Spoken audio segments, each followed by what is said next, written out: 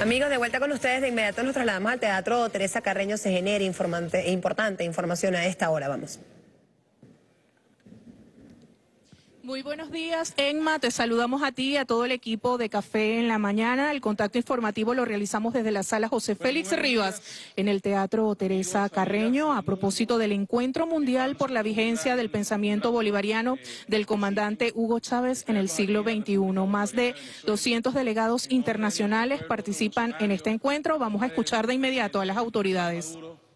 Eh, le queremos dar la bienvenida a este, a este espacio a este gran encuentro mundial por la vigencia del pensamiento bolivariano del comandante Hugo Chávez en el siglo XXI. Es para nosotros un, gran honor, una gran alegría que se encuentren con nosotros, que se encuentren con nosotros justamente representantes de por lo menos 55 países. Aquí tenemos alrededor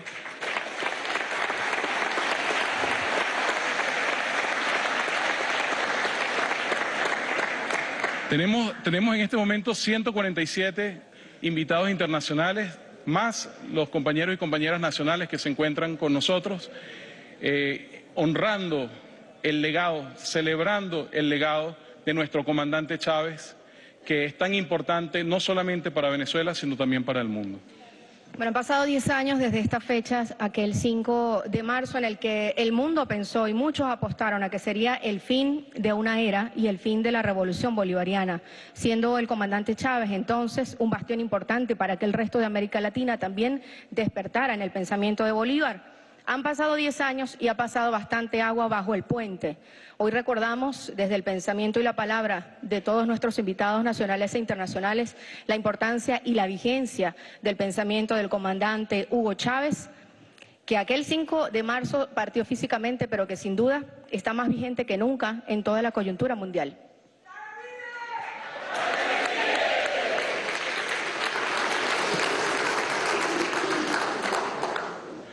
Bueno, el día, el día de hoy eh, estaremos eh, iniciando este gran encuentro eh, con amigos intelectuales, activistas, movimientos sociales, una serie de invitados militantes de partidos políticos, de otras organizaciones políticas que nos están acompañando en este encuentro.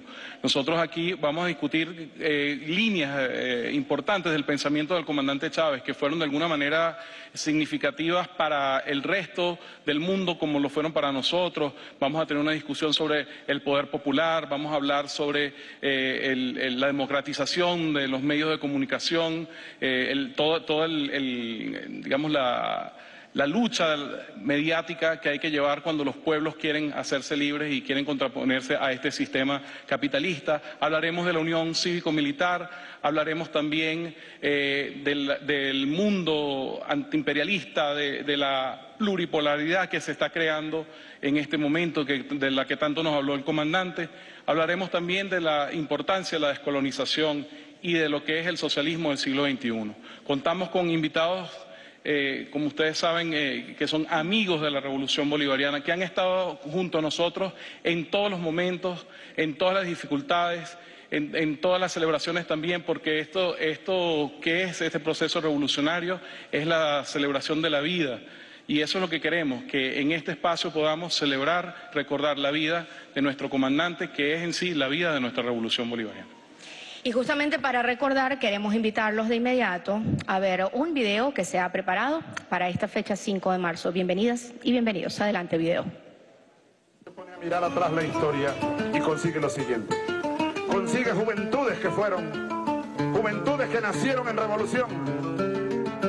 Chávez, radical. Miren, imagínense ustedes las juventudes que nacieron los niños pues y niñas que nacieron en plena guerra de independencia. Por ejemplo, Zamora, Ezequiel Zamora nació aquí en Cuba, Miranda, lo que hoy es Estado Miranda, en 1817. Su papá fue capitán de Bolívar y murió en Carabobo. Cuando Bolívar murió con esta espada, llorando junto a él, solitario, Ezequiel tenía 13 años de edad. Ese es un ejemplo. Pero ese ejemplo se repite a lo largo de nuestra historia. Entonces Zamora, que pudo haber tenido una juventud al ritmo de un país en progreso, Ezequiel Zamora como miles y miles de hombres y mujeres que fueron niños y vieron de niños una revolución en plena efervescencia, pero después vieron el hundimiento de aquella revolución. Tuvieron que crecer en medio de la frustración y después ellos iniciar de nuevo otra vez la revolución. Le pasó a Zamora, le ha pasado a muchos. Imaginemos los venezolanos que nacieron por allá por 1905, cuando y vieron aquí en Caracas y en Venezuela la revolución que dirigía Cipriano Castro, derrocado después por la oligarquía y el imperio ya traicionado por, la, por Gómez y la burguesía. Ellos vieron una Venezuela en revolución, crecieron con esa esperanza, con esa pasión, pero después la vieron morir y luego tuvieron que irse rebeldes a caballo todavía, como un abuelo mío, Pedro Pérez Delgado, que pasó, dejó sus hijos pequeños. Yo recuerdo a mi abuelo Rafael, que me decía, no, mi abuelo Pedro, hijo de Maizanta, no recordamos a nuestro padre. Cuando él se fue a la guerra teníamos tres años, cuatro años. Nos mandaba cartas, mas nunca lo vimos, murió preso. Tuvieron que dejar hijos a los pocos días cae preso de nuevo y muere en prisión, pero junto con él muchos y muchas que nacieron y crecieron viendo una revolución, llenos de esperanza en un futuro mejor. Pero luego, adolescentes todavía, jóvenes ya, vieron cómo se hundía la revolución y ellos entonces, en vez de tener una vida placentera, en familia, en progreso y en paz, tuvieron que tomar de nuevo la espada, las armas e irse a los campos de batalla. Yo pertenezco a una de esas generaciones. Pertenecemos, pertenecemos a una de esas generaciones. Cuando nosotros nacimos, bueno, entre otras cosas, crecíamos oyendo ya, yo de niño oía hablar de un tal Fidel, de un tal Fidel, de un tal Che. Yo adolescente en la varina de 1965, 66, 67, oía, y un poco antes, oía en mi sabaneta natal que hablaban los viejos de que cayó la dictadura, de que llegó la democracia, de que ahora sí viene un tiempo mejor que ahora se desarrollarán los campos, habrá vida para todos, habrá justicia, decían y prometían. Yo crecí en ese ambiente, pero después vi cómo se hundió la esperanza. Y tuve también que dejar unos muchachos pequeños y una mujer a la que quise mucho y un hogar humilde, pero donde fui muy feliz. Una madrugada, fue el 4 de febrero de 1992. E irnos a la batalla y llorar, llorar compañeros muertos, llorar una prisión, llorar los hijos, llorar la mujer, llorar el amor, dejar un poco la vida, la vida quedó a la mitad, la vida quedó por la mitad. Ahora, ¿saben qué? Ustedes no pueden ser una generación más como la que nosotros hemos vivido. Ustedes nacieron en revolución y ustedes coronarán la revolución. Ustedes no verán la frustración nosotros vivimos. De ustedes es la victoria. Y ustedes es la patria perpetua, muchachos. Así será. Les prometo que así será. Y haremos todo lo que haya que hacer y ustedes con nosotros para que ustedes no vean hundirse la revolución, sino que le dejen esta espada libre como antorcha a sus hijos, a sus nietos cuando los tengan en la Venezuela de este siglo XXI largo, la Venezuela socialista. Hacia allá vamos, el compromiso está echado, la suerte está echada. Chávez en el corazón de los pueblos.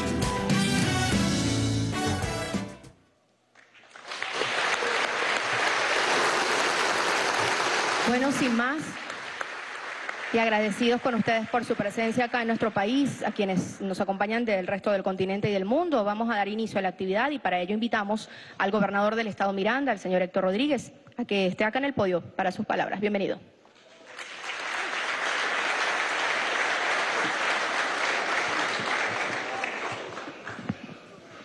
Bueno, buenas tardes. Creo que ya es más del mediodía, ¿no? Buenos días todavía. Un abrazo para todas, para todos, los y las amigas de Chávez, los y las amigas de Chávez de Venezuela y del mundo. Saludo a todos los delegados internacionales. Me pasan aquí una lista de algunos compañeros de la red de intelectuales en defensa de la humanidad. Me dicen que está aquí Atilio Borón, de Argentina. Un abrazo, querido hermano. Ignacio Ramonet, querido maestro. Fernando Buenabad, querido compañero. James Early de Estados Unidos, Vijay Prasad de Estados Unidos, Abel Prieto de Cuba. Ayer se nos fue el doctor Álvarez Cambra. Mi cariño, mi respeto por el doctor Álvarez Cambra. Germán Sánchez Otero, también de Cuba.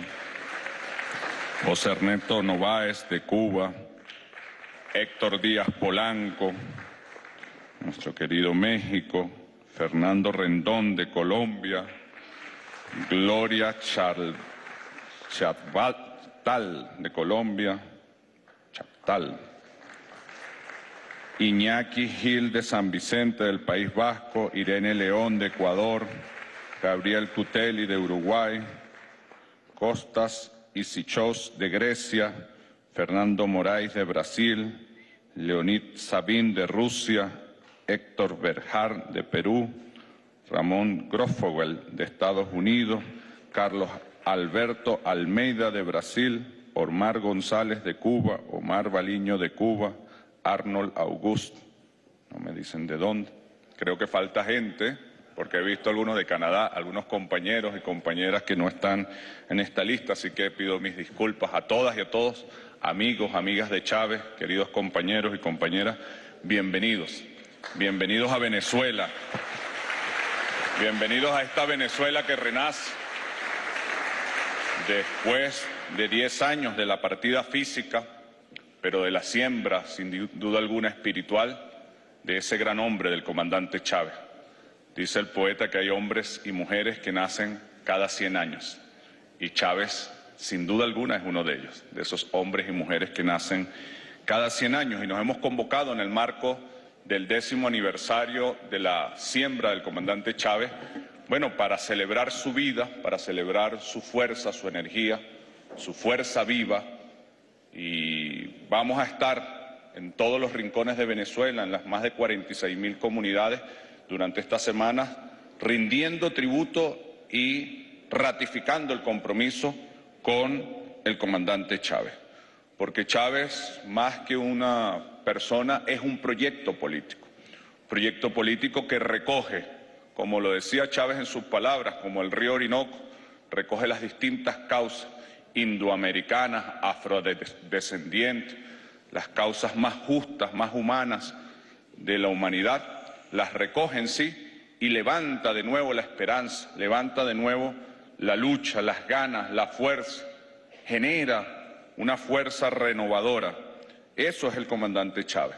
comandante Chávez está prohibido hablar de él en pasado. El comandante Chávez, claro, que es parte de nuestra historia, pero sobre todo en Venezuela y en el mundo, es parte de nuestro presente y es parte de nuestro futuro. Es un proyecto que estamos construyendo y que vamos a construir. Un proyecto que plantea la necesidad, la obligación de construir un mundo multipolar un mundo sin imperialismo, un mundo donde toda la humanidad, como dice Xi Jinping, sea una comunidad común, un espacio común. Eso es el comandante Chávez. En el caso latinoamericano, el comandante Chávez es la patria grande, es la, unidad latinoamericana, es encontrarnos, abrazarnos, acompañarnos, como decía Simón Rodríguez, entre ayudarnos entre latinoamericanos y latinoamericanas para que juntas y juntos podamos jugar en el tablero internacional del ajedrez el papel que nos corresponde para la construcción de ese mundo multipolar. El comandante Chávez es la construcción del sistema de gobierno más perfecto, aquel que genera la mayor suma de seguridad, de estabilidad, de felicidad social. Es la construcción del socialismo, es la resolución de la incógnita del hombre en libertad, como planteaba Bolívar en el juramento del Monte Sacro. El presidente Nicolás Maduro, la Revolución Bolivariana de Venezuela, les da la más cordial bienvenida, les agradece y los recibe con sus brazos abiertos a todos los delegados y delegadas internacionales.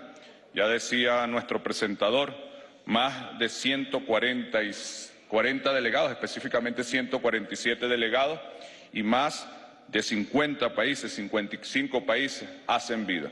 Nosotros abrimos nuestros brazos como pueblo, no solamente para los eventos protocolares, formales, académicos, de reflexión, Por el contrario, les pedimos a todos nuestros delegados y delegadas internacionales que se vayan a los barrios, a las veredas, a las comunidades, que escuchen, que hablen, que observen un pueblo que tiene muchas dificultades propias de las características, de las coyunturas que vive cada pueblo, pero también propias, bueno, del momento que nos ha tocado vivir. La partida física del comandante Chávez, el imperialismo creyó, entendió que era el momento de acabar con la revolución bolivariana. Creyeron que la revolución bolivariana era un hombre de carne y hueso. Chávez lo sentenciaba con mucha claridad en los últimos años de su vida física y decía, Chávez ya no soy yo, Chávez es un pueblo, Chávez es la juventud, Chávez son las mujeres, Chávez son los campesinos, Chávez es una causa, es un proyecto. Diez años después de la partida física podemos ratificar que Chávez tenía razón. Chávez no era un hombre exclusivamente de carne y huesos, que lo era, muy humano, muy hombre. Era un proyecto político, es un pueblo y es la causa fundamental de la que el pueblo venezolano haya podido soportar las más grandes tormentas que no ha soportado pueblo alguno. Se vino el imperialismo, específicamente desde el 2015, con el decreto de Obama, recientemente ratificado por el imperialismo norteamericano, con más de 900 sanciones. Más de 900 sanciones que disminuyeron los ingresos del pueblo venezolano de un promedio de 4 mil millones de dólares mensuales a menos de 40 millones de dólares mensuales, de un per cápita de 133 dólares por persona a 1.3. Se preguntarían los estudiosos de la política cómo puede un pueblo sobrevivir con esa disminución de más de un 90% de los ingresos. Y la respuesta está en las palabras de Chávez. Cada mujer venezolana, cada joven, cada obrero, cada trabajador, cada estudiante es el comandante Chávez. Y se crecieron, como se crecen los bolivarianos, los chavistas, en las dificultades. Hemos tenido que atravesar momentos muy duros, muy complejos, grandes tormentos, que aparte del bloqueo y las sanciones, bloqueos que han sido de una magnitud injustificable, legal, moral, ética y políticamente bloqueo que ha hecho daño en la salud, en la educación, en el ingreso de todo el pueblo venezolano. Un bloqueo que el imperialismo norteamericano quiso justificar bajo la narrativa de los derechos humanos, de la democracia, de la gobernabilidad. Por supuesto que Venezuela puede y tiene y debe que perfeccionar toda su democracia, toda su gobernabilidad como cualquier país. Pero qué casualidad que esa narrativa es la misma que los Estados Unidos de Norteamérica hizo antes de invadir Irak, antes de invadir a Libia, antes de generar el caos que generó en Siria, antes de invadir Afganistán. Preguntamos nosotros desde Venezuela, ¿hay más gobernabilidad, más democracia, más derechos humanos hoy en Libia, en Irak, en Afganistán, en Siria? Qué casualidad que todos son países geopolítica, geoenergéticamente estratégicos. Venezuela tiene las principales reservas petroleras del planeta Tierra, tiene las principales reservas de gas y tiene un pueblo que está decidido a hacer una revolución antiimperialista. No es la democracia, los derechos humanos del pueblo venezolano lo que le interesa a los Estados Unidos. Es el petróleo, es el gas y es parar una revolución que dice que otro mundo eh, es posible, que se puede construir un mundo sin imperialismo. Lo decimos con coraje, lo decimos con valentía, lo decimos consciente de las dificultades que significan y podemos decir con la certeza, después de 10 años de las peores tormentas, de las sanciones y los bloqueos, que lo decimos con la certeza de que somos capaces de superar las dificultades que significa llevar adelante el proyecto chavista el proyecto bolivariano. En el medio de nuestras dificultades, nuestro pueblo ha sabido consolidar su democracia protagónica, su democracia representativa, eh, popular, fortalecer el poder popular, los consejos comunales. Se nos acusa desde los distintos medios de comunicación de que en Venezuela hay una dictadura. Por eso insistimos a nuestros delegados internacionales. No se queden solamente en los barrios, hablen con nuestros ciudadanos, vean las experiencias de los consejos comunales, del movimiento juvenil, de los movimientos culturales, de un pueblo que debate a profundidad, que hace críticas y autocríticas, pero que colectivamente resuelve sus problemas y supera sus dificultades. Como nunca y como en ninguna parte del mundo, en Venezuela hay una democracia profunda, protagónica, real, verdadera.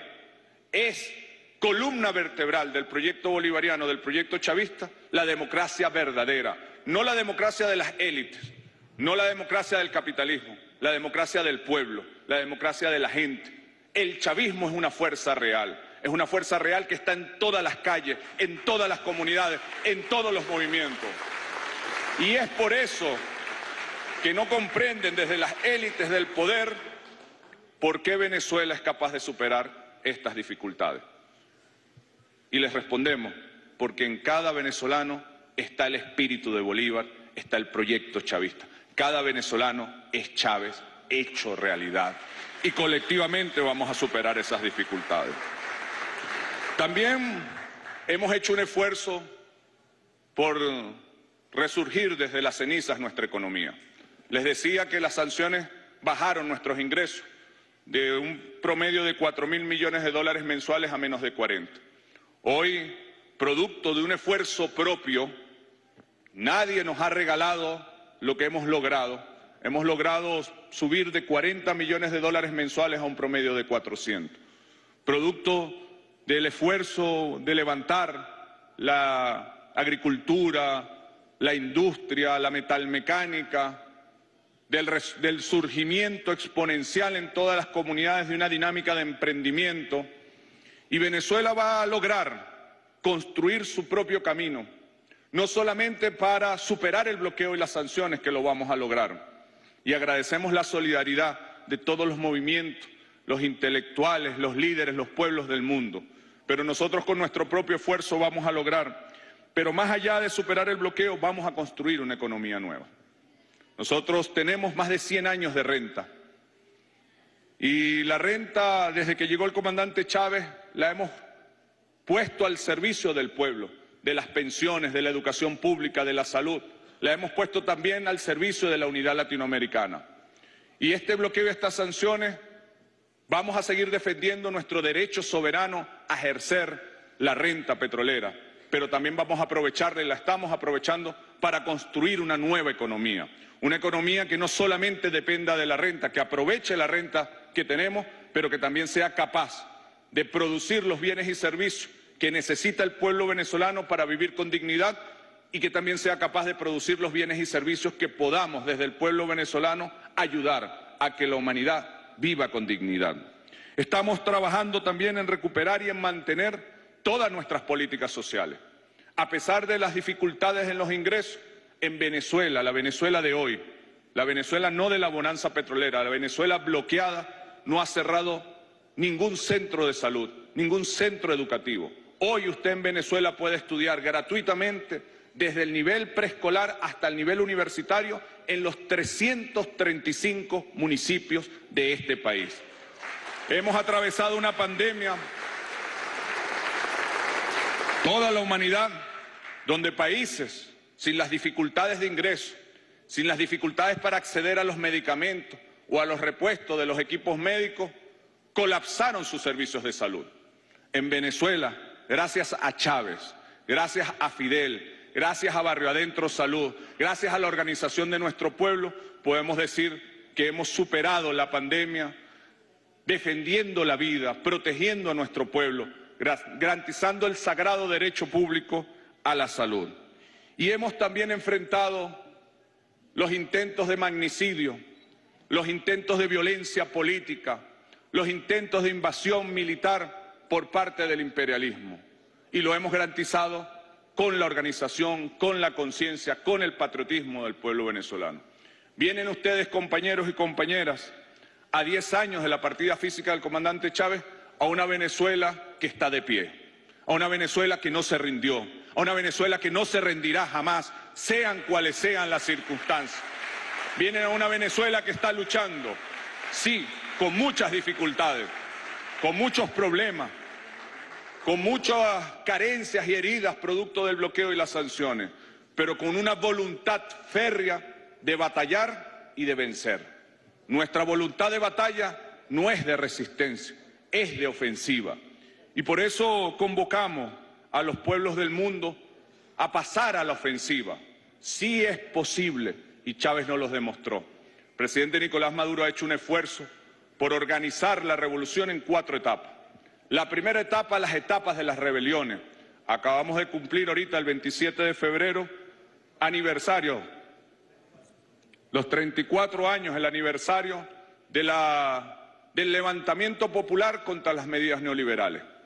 Cuando en el mundo se discutía el fin de la historia, cuando tumbaban el muro de Berlín y todo el mundo decía amén, solo el proyecto neoliberal es posible, en Venezuela el pueblo de Guarenas, de Petare, de Caracas, dijo no, hay historia todavía que discutir. Nosotros nos rebelamos a la política neoliberal. Y fue toda la década de los 90, la rebelión militar, las rebeliones populares, las rebeliones estudiantiles, las rebeliones de las comunidades de los abuelos, Caracas y Venezuela, efervescencia de lucha contra las políticas neoliberales, que nos permitió acumular la fuerza suficiente para en el año 99 tomar el poder político y ponerlo al servicio de las causas populares. El comandante Chávez inicia en el 99 una segunda etapa que el presidente Nicolás Maduro ha llamado de refundación, de refundar la patria latinoamericana, de refundar la patria venezolana, de refundar las causas humanas, el renacimiento de la OPEP, el nacimiento de la CELAC, de UNASUR, del ALBA, el renacimiento de la esperanza. La partida física del comandante Chávez hace 10 años, sin duda alguna, genera una nueva etapa para Venezuela, que la hemos llamado la etapa de resistencia. Se vino el mundo en contra. Creyeron que podían aplastarnos. Diez años después podemos decir que están haciendo una cuarta etapa, la etapa del renacimiento. Demostramos en la batalla, en la tormenta, que fuimos capaces de aguantar las más complejas dificultades. Y aquí está el pueblo venezolano, dándoles la bienvenida, con la sonrisa en la cara, con el esfuerzo, con la energía, con las ganas, diciéndoles, compañeros y compañeras, aquí estamos, no nos rendimos. Y diciendo con fuerza, Chávez no murió. Chávez es un proyecto, un proyecto antiimperialista, un proyecto latinoamericano, un proyecto popular, un proyecto de democracia profunda, un proyecto socialista que está más vigente que nunca y que estamos dispuestos a entregar todo nuestro amor, nuestra energía para hacerlo realidad. Que este aniversario se, se convierta en el renacimiento de la fuerza chavista venezolana, latinoamericana y mundial. Que viva Chávez y bienvenidos todas y todos. Muchísimas gracias.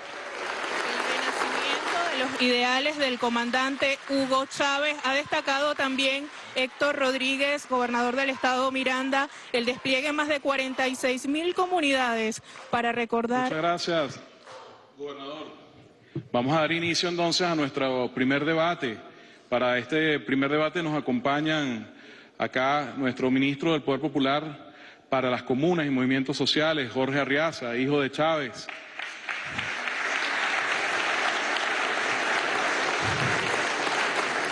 Nos acompaña la compañera Claudia de la Cruz.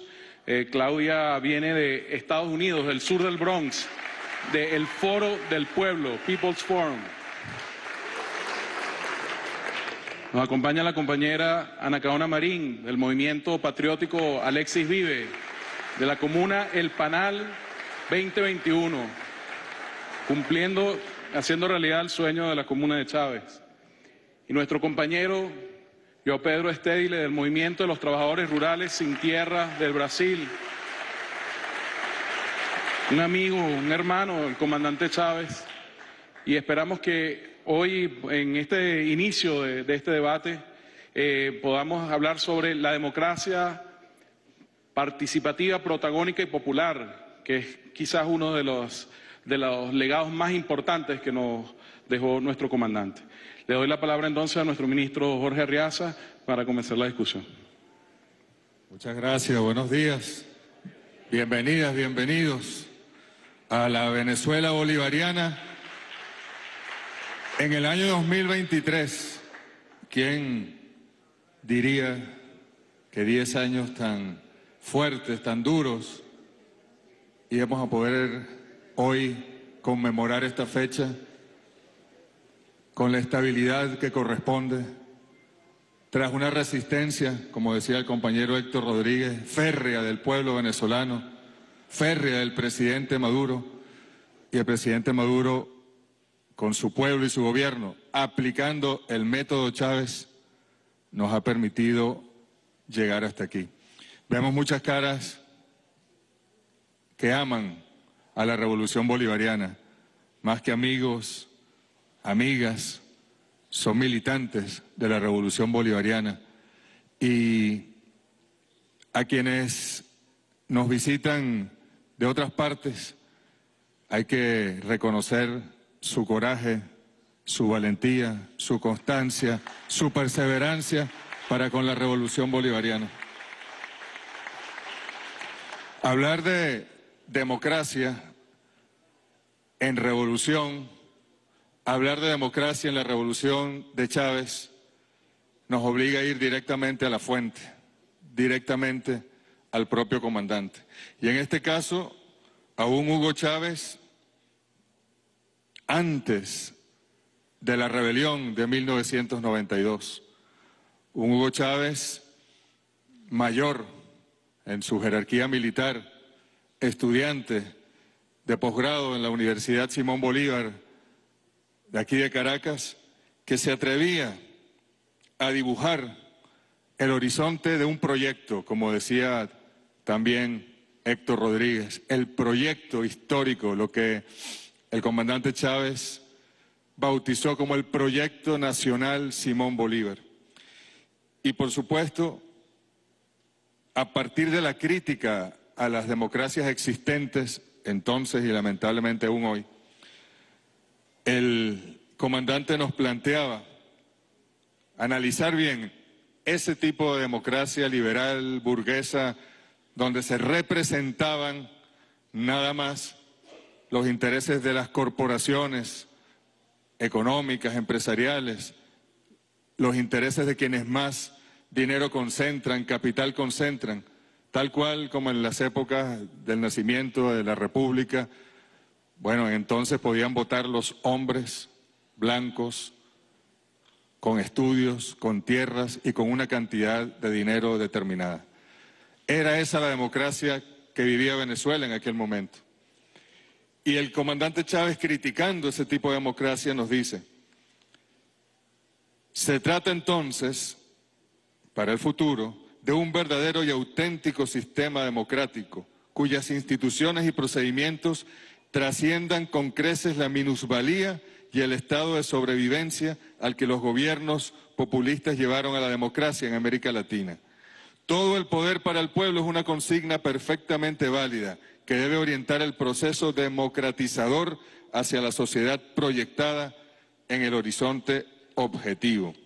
Y más adelante nos dice, en efecto, los gobiernos y partidos predican la participación con el concepto de propina, de forma tal que la condenan a ser fin en sí misma, con límites tan estrechos y rígidos que impiden a la sociedad intervenir en la toma de decisiones políticas, de quién obtiene qué, cuándo y cómo. Como consecuencia de esto, los pueblos no pueden tomar parte en el diseño y o selección de planes, proyectos que jalonan su marcha histórica.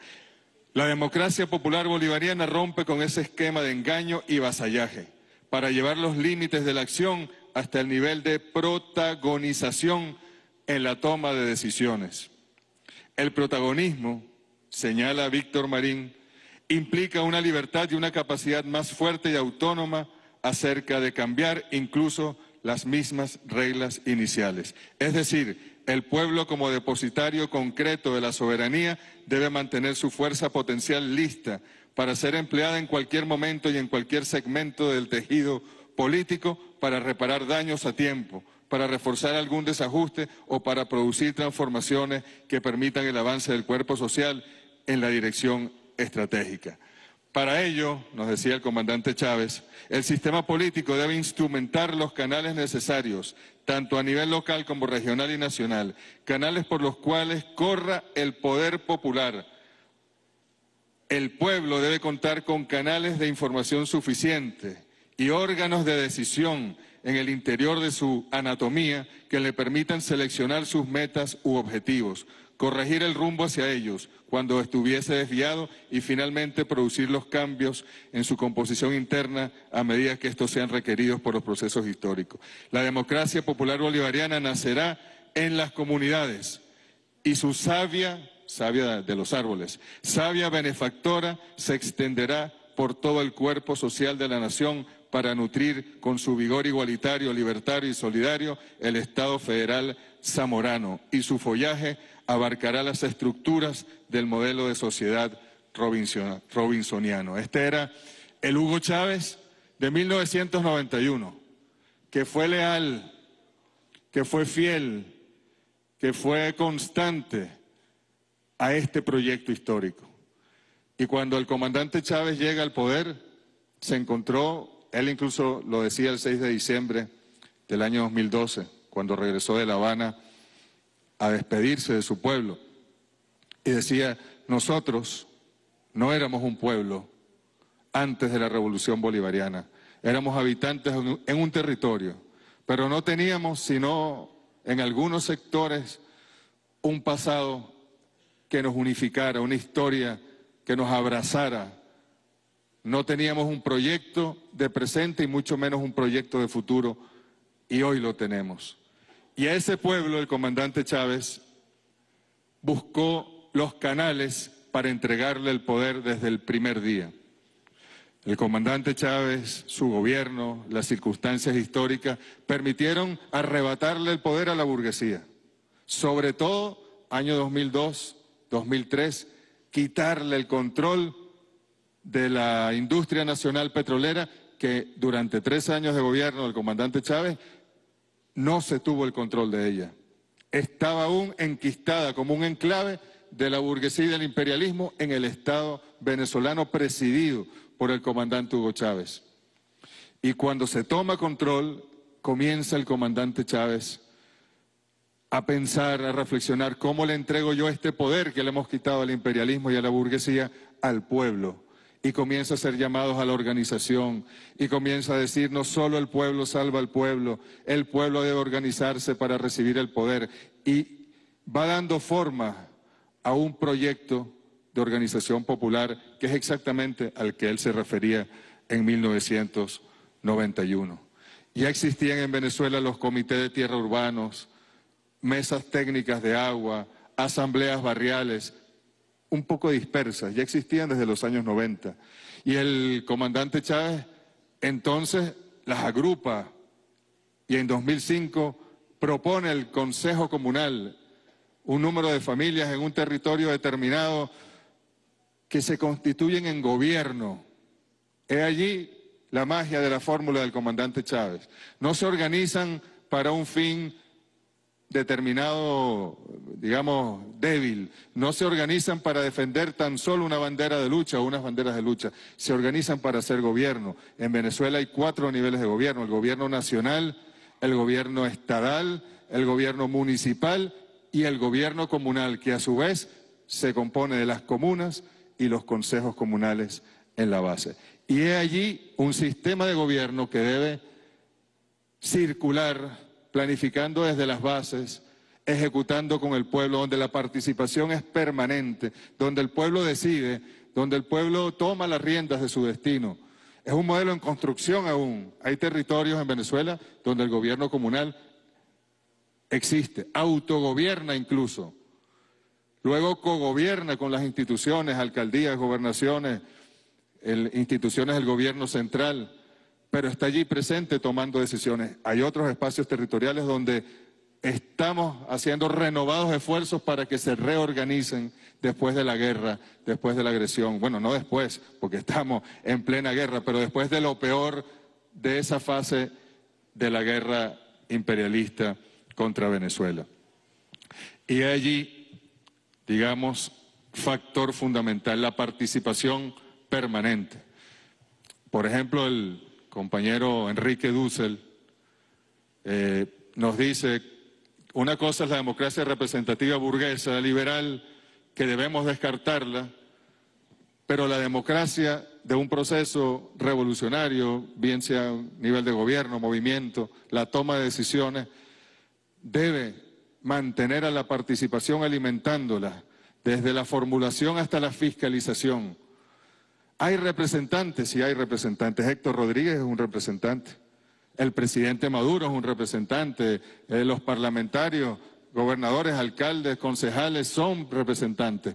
Pero son representantes que se enlazan, se conectan con las bases del pueblo y escuchan al pueblo y gobiernan desde el pueblo y planifican desde el pueblo. En el momento en que ese representante se desconecta de, la base, pierde legitimidad.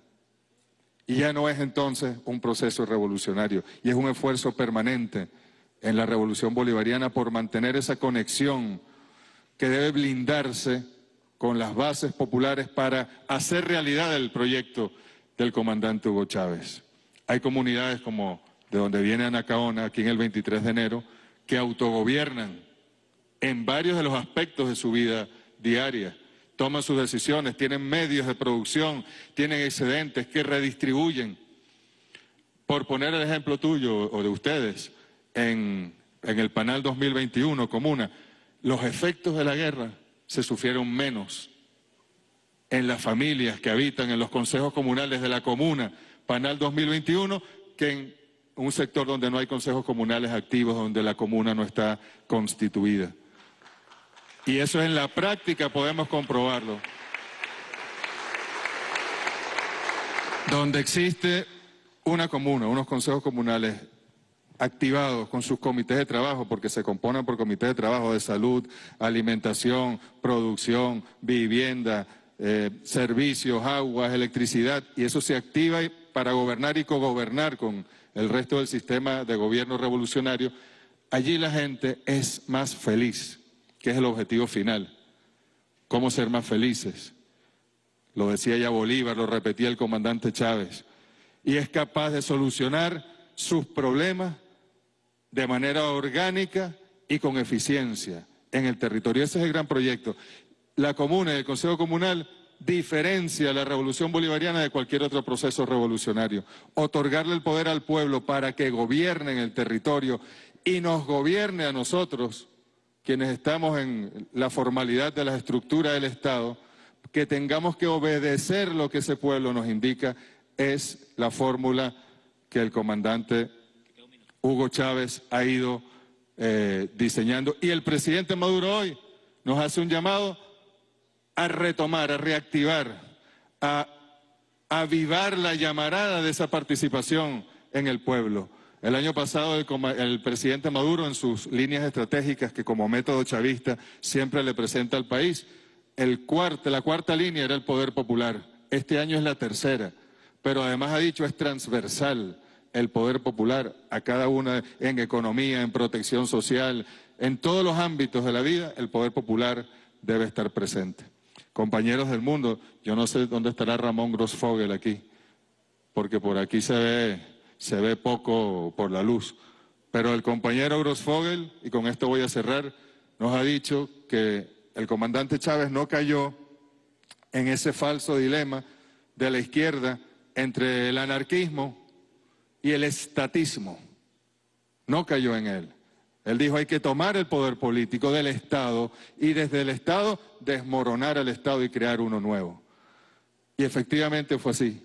Pero en el caso del pueblo organizado para la participación y toma de decisiones, tampoco cayó en el falso dilema que aún anda por allí del poder constituido y el poder constituyente. Al contrario, un Consejo Comunal es poder constituyente, es la Asamblea de Ciudadanos y Ciudadanas, todo ciudadano que vive en el ámbito de un consejo comunal es consejo comunal, es parte de la Asamblea de Ciudadanos y Ciudadanas, es poder constituyente, pero al mismo tiempo es poder constituido. es comité de trabajo de un sector en particular, es unidad de finanzas, y luego se agrega en comuna, y luego nos vamos desarrollando con el poder popular hacia el Ese es el proyecto de Chávez. Por eso el llamado que nos ha hecho el presidente Maduro hoy, y por eso Héctor les invitaba a que vayan por las comunidades, Vayan, hablen, pregunten cómo funciona aquí el Consejo Comunal, por qué se desactivó en estos años, por qué se está activando ahora la comuna, cómo, cómo eligieron. Estamos debatiendo las leyes hoy en la Asamblea Nacional para, porque tenemos 12 leyes del Poder Popular que hacen gobierno legal al pueblo en el territorio, en materia económica, en materia organizacional, en distintos ámbitos. Y por eso, queridos compañeros del mundo, ahí está la comuna como un ejemplo para, por supuesto, las revoluciones ni se copian, ni se exportan, ni se copy-paste. Las revoluciones son producto de las circunstancias de cada pueblo. Pero ahí está nuestro ejemplo, del pueblo hecho gobierno, de esa sabia benefactora del pueblo que debe impregnar toda decisión, todo proceso de política pública en la República Bolivariana de Venezuela para que ustedes la estudien, para que ustedes la critiquen, para que ustedes la analicen y se lleven lo mejor de ella. Muchas gracias por estos minutos de intervención. Y le vamos a dar la palabra a la compañera Claudia, que viene de Estados Unidos, viene de allá de Nueva York, del Bronx. La hemos, hemos conversado mucho con ella en The People's Forum. Es parte de la AIP, de la Asamblea Internacional de los Pueblos, y desde el corazón del imperio seguro que tiene mucho que decirnos sobre Hugo Chávez. Gracias, Claudia.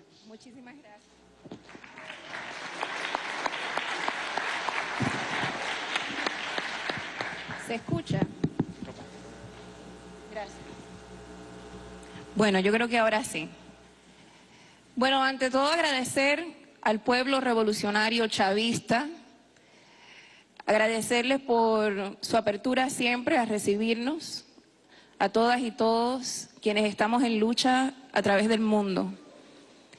Compartirles que eh, hoy, cuando recibí la invitación a estar aquí, pensé mucho en las palabras de, Ernesto Che Guevara, cuando decía que el revolucionario debe de estar motivado por, por grandes sentimientos de amor. Y así como tema místico, me encuentro con Aleida Guevara que está por allá.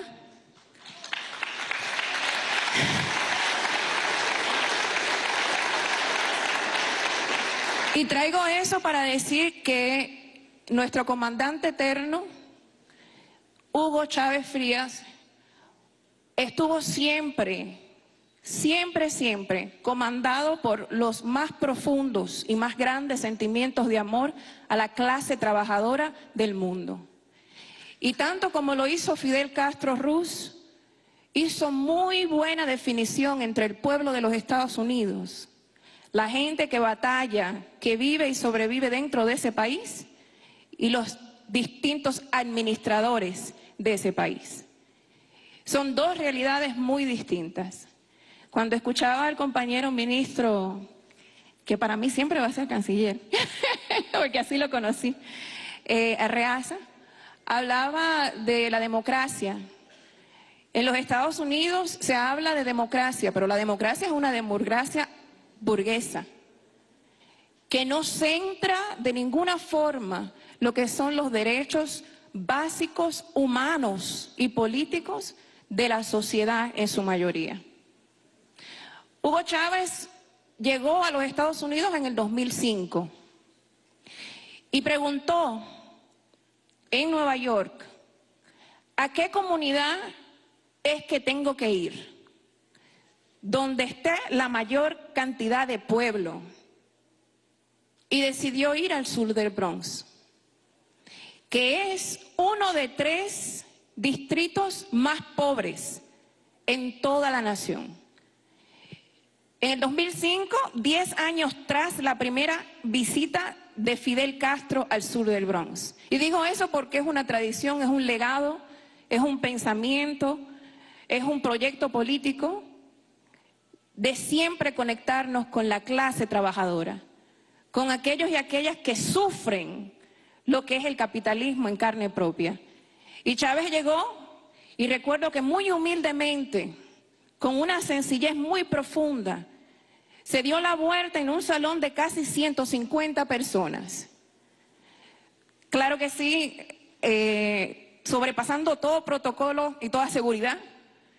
Habló con todo el mundo y luego de esa reunión se entendió que había una necesidad en el sur del Bronx y esa, y esa necesidad, o sea, quien no ha pasado frío en Nueva York no está en Nueva York. La necesidad mayor para esa comunidad era la calefacción durante los tiempos de frío. Y Chávez enseñó que la solidaridad es la acumulación de acciones de amor que dan vida. La solidaridad es la acumulación de acciones de amor que dan vida. Él no hizo una promesa. Él impulsó un proyecto llamado Petro Bronx para que más de 200 mil familias en 23 estados en los Estados Unidos puedan tener calefacción gratuita. Esa es la solidaridad.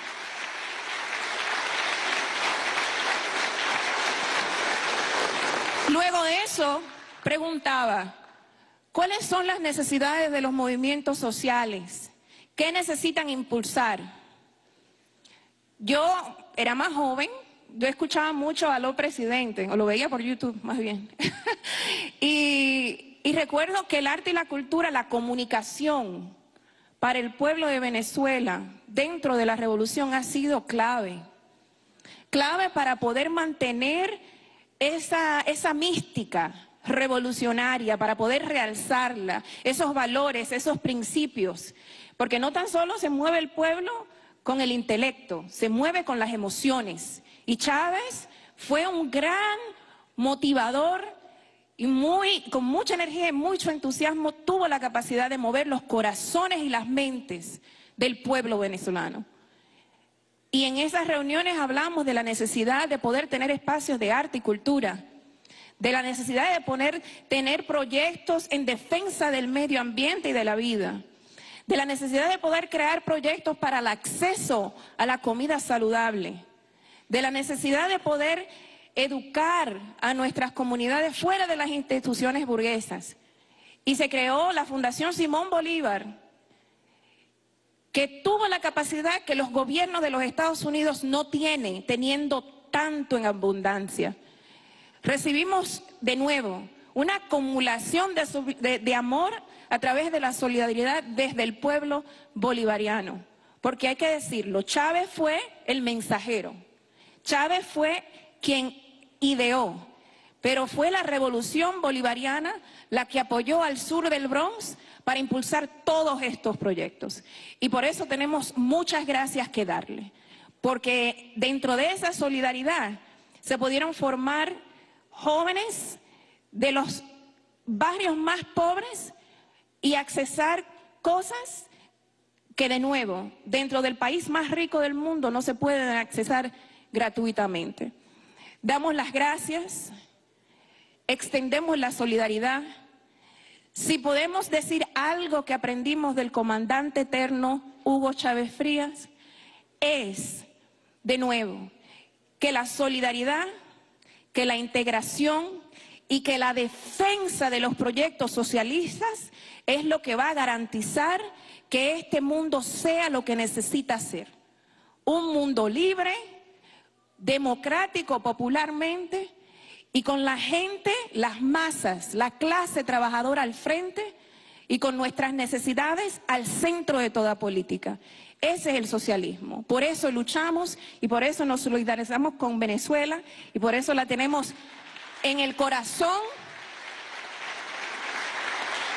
Y por eso dentro del imperio tomamos la bandera antiimperialista y decimos que los Estados Unidos no tienen ninguna moral, ninguna autoridad para, para atacar a Venezuela, ni para atacar a Cuba, ni para atacar a ningún país del mundo porque no ha resuelto los problemas más básicos dentro de su mismo país. No tiene la moral.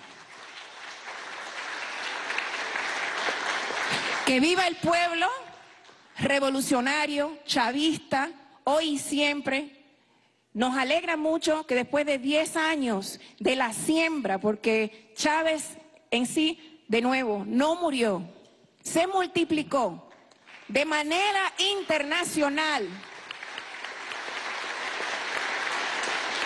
Nos alegra venir, nos alegra ver, caminar codo a codo con ustedes y decirle que tienen todo un pueblo dentro de los Estados Unidos que entiende que tenemos más en común con el pueblo revolucionario de Venezuela que con las administraciones que pasan por la Casa Blanca. Muchas gracias.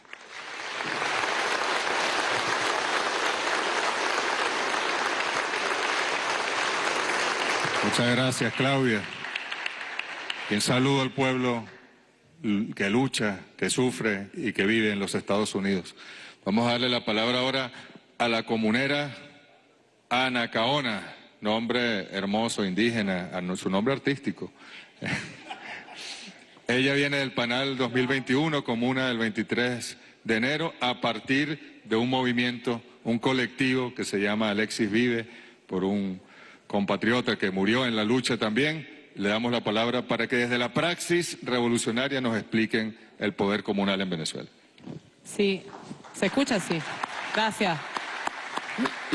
Gracias Claudia, realmente dándole pues las gracias a cada uno de ustedes, o sea, gran responsabilidad tenemos en esta oportunidad de ser voceros y voceras, no solamente de la Comuna del Panal 2021, de mi organización política, de la Alexis Vive, sino que aquí, bueno, yo tengo la gran responsabilidad de tantos y tantos que hoy tenemos el compromiso estoico, chavista, de construir consejos comunales y comunas como ese, ese horizonte, como esa ese legado político, programático, revolucionario e histórico que nos dejó el comandante Chávez y que sé que se ha multiplicado y que es multicolor, que es diverso, que desde cada uno de nosotros y nosotras estamos pues comprometidos a hacerlo. Escuchar a Claudia eh, eh, pareciera saber que Chávez era integral, por supuesto, que era un todo, pues ese torbellino que, que hacía que, que poder configurar ese torbellino en una, en una sola cosa, ¿no? Pero obviamente escuchar a Claudia es escuchar a ese Chávez solidario, internacionalista, bolivariano, guevarista, a propósito de Aleida, realmente es escuchar a ese Chávez que nosotros sabíamos que llevaba intrínseco la, en sus venas, en su sangre, ese proyecto de la patria grande. Realmente desde nuestro concepto, obviamente se nos hace muy, muy importante reafirmar nuevamente que Chávez todos los días nos dice y nos cuestiona y nos pregunta dónde está el socialismo. En cada cosa que hagamos y dónde está el socialismo. Y realmente eso como, como método, como forma, como cuestionamiento, como pregunta, nos convoca a, revisarnos, pero también a tener la corresponsabilidad de estar en el tiempo histórico que nos obliga a comprender al presidente Nicolás Maduro como un conductor de victoria, pero que no solamente es la responsabilidad de él o de un tren de gobierno o de un equipo ministerial, sino que realmente es la responsabilidad histórica que como pueblo muy importante esa, ese refrescamiento que nos hacía el compañero Arriaza eh, de esa categoría política, pues que le daba de ser habitantes, dejamos de ser habitantes a ser pueblo, porque obviamente asumimos conciencia política por la necesidad misma que, que nos empujó a comprender, a estudiar, a reflexionar Creo que las comunas es la reflexión política del comandante Chávez en todo su proceso del devenir de la revolución bolivariana, es el, es el resultante de lo que él eh, apuntalaba y decía, pues la revolución bolivariana va a ser síntesis en la comuna. Pero ahorita obviamente tenemos la corresponsabilidad de lo que hacemos comunas en el territorio a propósito de saludar a todos nuestros compañeros y compañeras. En la acreditación decían internacionales y nacionales. Bienvenidos a todos compañeros y compañeras internacionalistas y también los nacionalistas que están acá acompañándonos, las cocineras de la patria, todos los movimientos que conforman el Congreso de la Nueva Época, todos los compañeros campesinos, obreros, creo que comuneros tenemos que ser todos, pero bueno, hacia allá vamos. Pero bueno, intelectuales, cultores, o sea, realmente el pueblo de Chávez es diverso, es, en su en eso heterogéneo que se hace en el territorio. Creo que ese es una gran, un gran aporte categórico que da el comandante Chávez. O sea, allí en el territorio está todo. Bueno, preconfiguremos, organicémonos, debatamos, construyamos, lanzamos líneas programáticas, pero eso sí, hagamos gobierno y transformemos la realidad. ¿Y cómo? No, hay otra cosa en la actualidad que no sea a través del socialismo, porque obviamente tenemos que estudiar, hay que reflexionar. Eh, el tema del estudio no puede ser meramente, como le decimos nosotros a nuestros chamos en, en la escuela, ¿no? Y allá en el territorio. No es nada más para sacar el 20 o para decir, eh, lo, hiciste bien, eh, toma tu, tu, tu, medalla o tu diploma. No, realmente el revolucionario y la revolucionaria que no estudia está tentando inclusive contra el proyecto de la revolución porque hay que estudiar, hay que leer, hay que reflexionar hay que escucharnos, tenemos que debatir, tenemos que construir conocimiento de acuerdo a nuestras propias prácticas. Y es por ello que, no puede ser una practicidad por una practicidad, sino es la reflexión de lo que nos estamos atreviendo a transformar en el territorio. Y la comuna entonces es esa práctica de reflexión constante, de metateoría y de, bueno, y de, atrevernos a lo que decía el, el compañero Arriaza, hacer gobierno, pues. Y hacer gobierno es cuestionarnos dónde está el socialismo todos los días. O sea, si, si la comuna está apuntalando a que no haya niveles de desnutrición en nuestros territorios, si la comuna está apuntalando a que la deserción escolar no exista, si la comuna está apuntalando a que el modo de producción y las formas como se producen en nuestros territorios no conlleva explotación, no conlleva que la acumulación hay, cómo lo estamos produciendo, pero esa acumulación de riqueza para qué es y por qué es y para dónde va esa riqueza que se produce pues en el territorio. Ay, es que acaso tal también la comuna pues se tiene que pensar que tiene que producir su riqueza para poder distribuirla y de qué forma la distribuye y cómo es el proceso de, participación de la gente, del cotidiano, del común y su vinculación en la toma de decisiones de esa riqueza que se produce en el territorio. Solamente así realmente vamos a hacer gobierno en el territorio si ponemos a nuestra gente a pensar en eso, porque si no simplemente va a ser mero panfleto o mero eslogan o cierta categoría política allí que queremos decirlo en un discurso bonito, pero que realmente no cala en, en, lo que realmente está. Y si el momento político dado no está, o sea, nosotros tenemos dentro de nuestras asambleas, dentro de nuestros debates, que hay gente que dice, ajá, pero el capitalismo, van a venir ustedes otra vez. Bueno, sí, es el capitalismo, hay que hablarlo, o sea. Ah, no, pero bueno, hasta incluso la manera como se plantean los problemas, aquí hay que hablar de los problemas. Los problemas, el diagnóstico, decíamos en estos días en unas reflexiones colectivas, hay gente que les gusta maquillar los diagnósticos. Eh, eh, ahorita hay cosas que se le dicen el performance o, el estereotipo. La, no, viejo, vamos a hablar los problemas como son para poder darle soluciones y se hablan de formas colectivas, se plantean de formas colectivas y allí la importancia de lo que decía el compañero Arriaza de la asamblea. O sea, hay que escucharnos, hay que escuchar a la gente así, te guste, no te guste, esté bien, esté mal, sea caricia para tus oídos o no, pero hay que escucharnos y la mejor forma es el método asambleario, pero era un método chavista, un método de Chávez. Chávez alguien se le paraba por allá en una intervención protocolar y posiblemente el protocolo iba, no, mira, calles, no, y decía, no, párese y dígame lo que me tenga que decir, porque realmente, si así hoy estamos recordando a Chávez, no puede haber un método asambleario que entonces intentemos callar a la gente o que la gente nos vaya a decir lo que a nosotros nos gusta que nos diga. O sea, el líder social el líder social, el activista político sabe que si hay una contradicción, hay una guerra, hay un bloqueo, hay una sanción, va a haber alguien que te va a decir, mira, ajá, pero ¿cómo es eso de tu socialismo? Y, y, y yo no tengo, o sea, el poder adquisitivo mío bajó. O sea, aquí tenemos que estudiar y saber cómo le damos respuesta a esa comunidad que a mí en lo particular, obviamente yo sé que al ministro Arriaza también, pero a mí en lo particular, como líder de base en el pueblo, a mí me lo preguntan. Y uno se queda así como que, Dios mío, Chávez, espiritualidad, el socialismo, hay que darle respuesta a la gente, hay que decirle, el presidente Maduro intentando hacer desde los distintos niveles de participación, esas cuatro cosas que decía el, el compañero Arriaza los niveles de gobierno, es real. Entonces, ajá, ¿y la comuna qué hace? Como sea, no, no señales para allá. ¿Tú qué haces como líder político?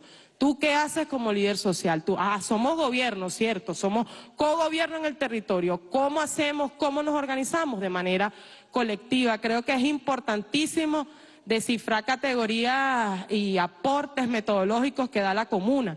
Método asambleario, delegación de funciones, eh, inclusive hasta la vocación del servicio o, o, la necesidad que tenemos de que la gente esté donde quiera estar y donde le guste estar, que desarrolle donde es bueno, de acuerdo a sus capacidades, de acuerdo a sus voluntades. Y creo que allí es una gran, eh, un gran momento para la gran convocatoria y por eso es que la comuna permite hacer eso, porque inclusive puede haber mucha gente que no es adepta a uno como proyecto político, incluso milite o no milite en la causa de la revolución, pero quizás es docente y en el territorio ayude en el plan programático educativo de la comuna, bueno, entonces es la oportunidad de jalar a esa persona hacia el programa de la comuna y después tú obviamente como líder del territorio vas maniobrando y vas viendo dónde es bueno y dónde desarrolla su capacidad, pues la comuna permite eso. Por eso es que yo creo que hoy más que nunca la vigencia de la comuna como el proyecto político, como el legado del comandante Chávez, tiene que ser una, un mandato. O sea, hoy chavista, revolucionario, revolucionaria, compañero y compañera que se diga ser chavista, tiene que comprometerse. Si usted vive en una comunidad, usted tiene que preocuparse porque el Consejo Comunal de la Comuna se dé, se ejecute, se conforme, que la gente discuta, que la gente plantee los problemas de manera colectiva. No falta el agua, bueno, no me falta el agua a mí nada más, le falta al otro, al otro y al otro. Vamos a ver cómo nos ponemos de acuerdo y cómo lo hacemos, cómo, más allá también de pasar la carta, porque sabemos que el Ministerio de Agua nos puede ayudar, pero, o sea, nosotros, cada uno de nosotros, qué hace y cómo lo hace, tiene que ser de manera colectiva, la toma de decisiones de manera colectiva, la vinculación en los problemas cotidianos. O sea, este pueblo y cualquier pueblo del mundo necesita satisfacer cosas esenciales y yo creo que esos son nuestros niveles como de estadística, pues, que tenemos que llevar. O sea, si hay hambre en un territorio, ¿cómo solventamos el hambre? Si hay necesidad de abrigo, ¿cómo lo solventamos? Si hay necesidad de tus condiciones básicas de movilidad, de, alimentarte. O sea, eso es gobernar. Eso es la corresponsabilidad que tenemos dentro del territorio y la necesidad incluso desde lo espiritual para ya ir cerrando, porque creo que me dijeron que eran cinco minutos, siete minutos, algo así. Este, pero eso es la necesidad, pero solamente eso se va a lograr, hermanos y hermanas, si no los creemos. También es importante la esencia, la espiritualidad, la reflexión interna y la capacidad que tengamos de comprender de que tenemos que hacerlo y lo podemos hacer.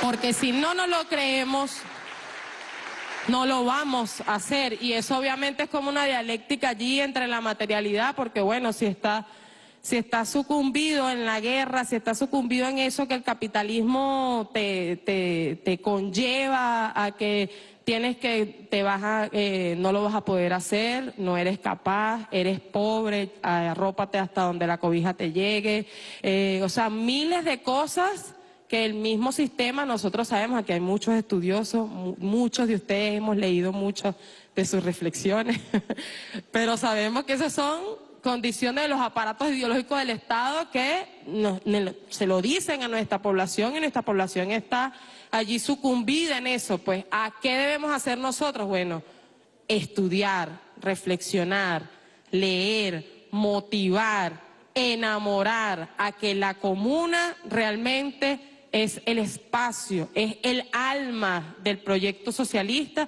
y que hay que construir en el territorio con la gente, no aéreo, no por allá, no por cumplir la tarea de tal ministerio, no por cumplir el capricho de fulanito, no, es un hecho y una demanda histórico-social que nos los exige la revolución bolivariana y que sé que el presidente Nicolás Maduro hoy está comprometido con eso. Decía, el método asambleario el método asambleario debe entonces, eh, hoy más que nunca, estar vigente. Muchas gracias, estamos a la orden por la Comuna del Panal 2021.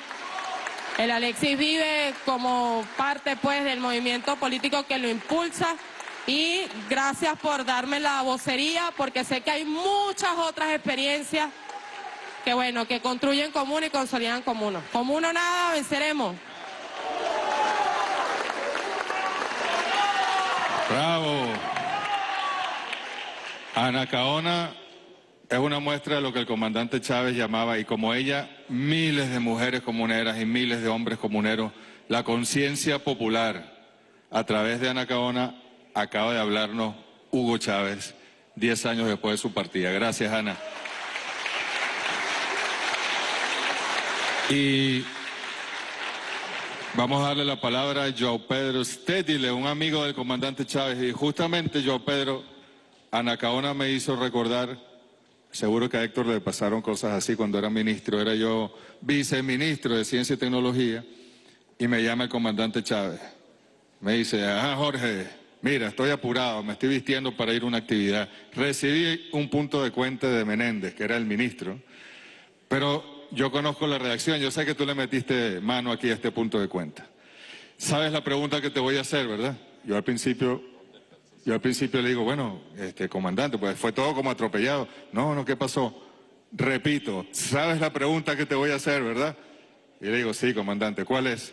¿Dónde está el socialismo? Muy bien, te lo devuelvo, lo cambias y me lo devuelves con el socialismo para yo ver si lo firmo. Ahí va. Joao Pedro Stedile, del Movimiento Sin Tierra de Brasil. Gracias. Compañeros y compañeras, estoy muy contento, feliz de participar de esa actividad con todos ustedes, con el pueblo de Venezuela. Felicito al Instituto Simón Bolívar que tuvo esa iniciativa de nos juntar a todos aquí de 55 países. ¿Quién más podría juntar organizaciones populares de 55 países sino Chávez? Nadie más.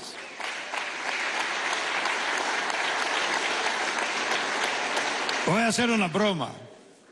Participo de un proceso que es encuentro de movimientos populares con el Papa Francisco y nunca juntamos 55 países. Así que Chávez está por arriba de Papa Francisco.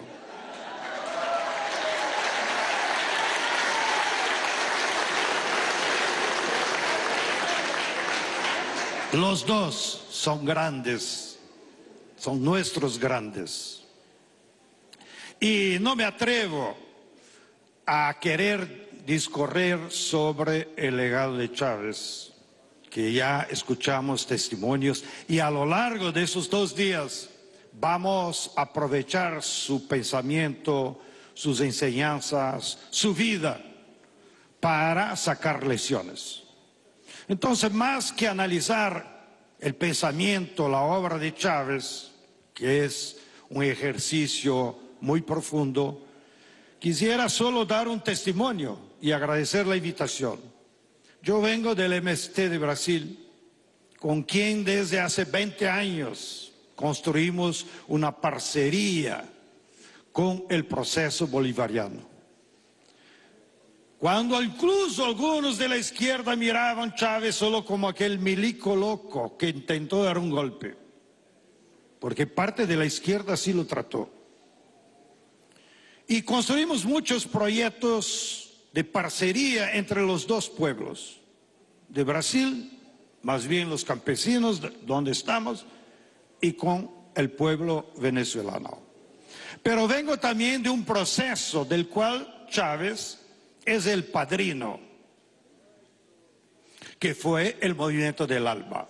Estamos aquí, muchos países y muchos movimientos del ALBA Movimientos, que nos consideramos hijos de Chávez, porque nacimos como ALBA Movimientos con una idea construida colectivamente con Chávez. Nosotros veníamos de un proceso de lucha contra el ALCA y al final 2005 ahí en Argentina tumbamos el ALCA y ahora nos quedamos, ¿qué hacemos con la victoria? Vencimos a los gringos. Y entonces ahí en diálogo con Chávez se ocurrió construir un nuevo proceso que pusimos el nombre de ALBA Movimientos. A principio incluso era para hacer junto con el proceso de los gobiernos que se conformó ahora el ALBA TCP. Pero luego nos dimos cuenta que el proceso de movimientos populares tiene que ser autónomo de los gobiernos para garantizar su autoridad y su posibilidad de presión. Y así fue como nos constituimos y venimos hace 15 años haciendo muchas luchas continentales con ese espíritu chavista, ¿no? Pero aquí el tema es democracia popular. Y sobre eso quisiera dar algunas ideas. Mire, el mundo está en crisis, el mundo capitalista. El capitalismo, como dijo Claudia, ya no resuelve los problemas fundamentales de las personas. Por lo tanto, es un sistema económico del pasado, porque no puede resolver los problemas de ahora y del futuro. Pero además del sistema capitalista, tenemos una crisis del Estado burgués, como se habló aquí. El Estado burgués que fue construido por la burguesía industrial ya no funciona para las mayorías. Ni siquiera existe más una burguesía industrial. Lo que hay es una hegemonía de la burguesía del capital financiero y transnacional. Y a ellos ni siquiera interesa un Estado nacional fuerte. Por eso que ya no les interesa la democracia burguesa. Ellos compran los políticos, es más barato do que disputar ideas. ¿O no compraron a Moreno? ¿O no compraron el ministro de ejército de Evo? Así hacen, compran. Compraron a Temer en Brasil. ¿No? Que ahora dice que no hubo golpe. Sí, él es el autor del golpe. Bueno, eh, entonces, frente a esa crisis, ¿cuál es la salida? La derecha dice que la salida es individualismo, el emprendedorismo, Ah, como si cada uno pudiera ser un pequeño capitalista. Pero miren, ahí está la contradicción de ellos, porque la historia de la humanidad es la historia del colectivo, no del individuo. Y esa contradicción que ellos no logran resolver y que nosotros tenemos que reflexionar. Y eso ayuda incluso a nuestros gobiernos que nos decimos progresistas, que llegamos al Estado y queremos hacer cosas para el pueblo. Ahora no son más tiempo de gobiernos para el pueblo. Ahora solo puede existir gobiernos con el pueblo, con la organización popular. Y si no hacemos así, vamos a fracasar, como ya tenemos ejemplos en toda Latinoamérica. Y para hacer con el pueblo hay que ejercitar esa nueva democracia popular, que no es un tema de manual, como decía Ana o el compañero Arreaza. Es un, problema de práctica, de cómo tú ejercitas. Y de ahí que viene el ejemplo de ustedes. Ustedes están en la vanguardia de ese proceso de cómo ir practicando, descubriendo, haciendo, porque no hay un manual para eso. Y, en vuestra experiencia, vendrán las elecciones que pueden nos ayudar en toda Latinoamérica, de construir una nueva democracia popular.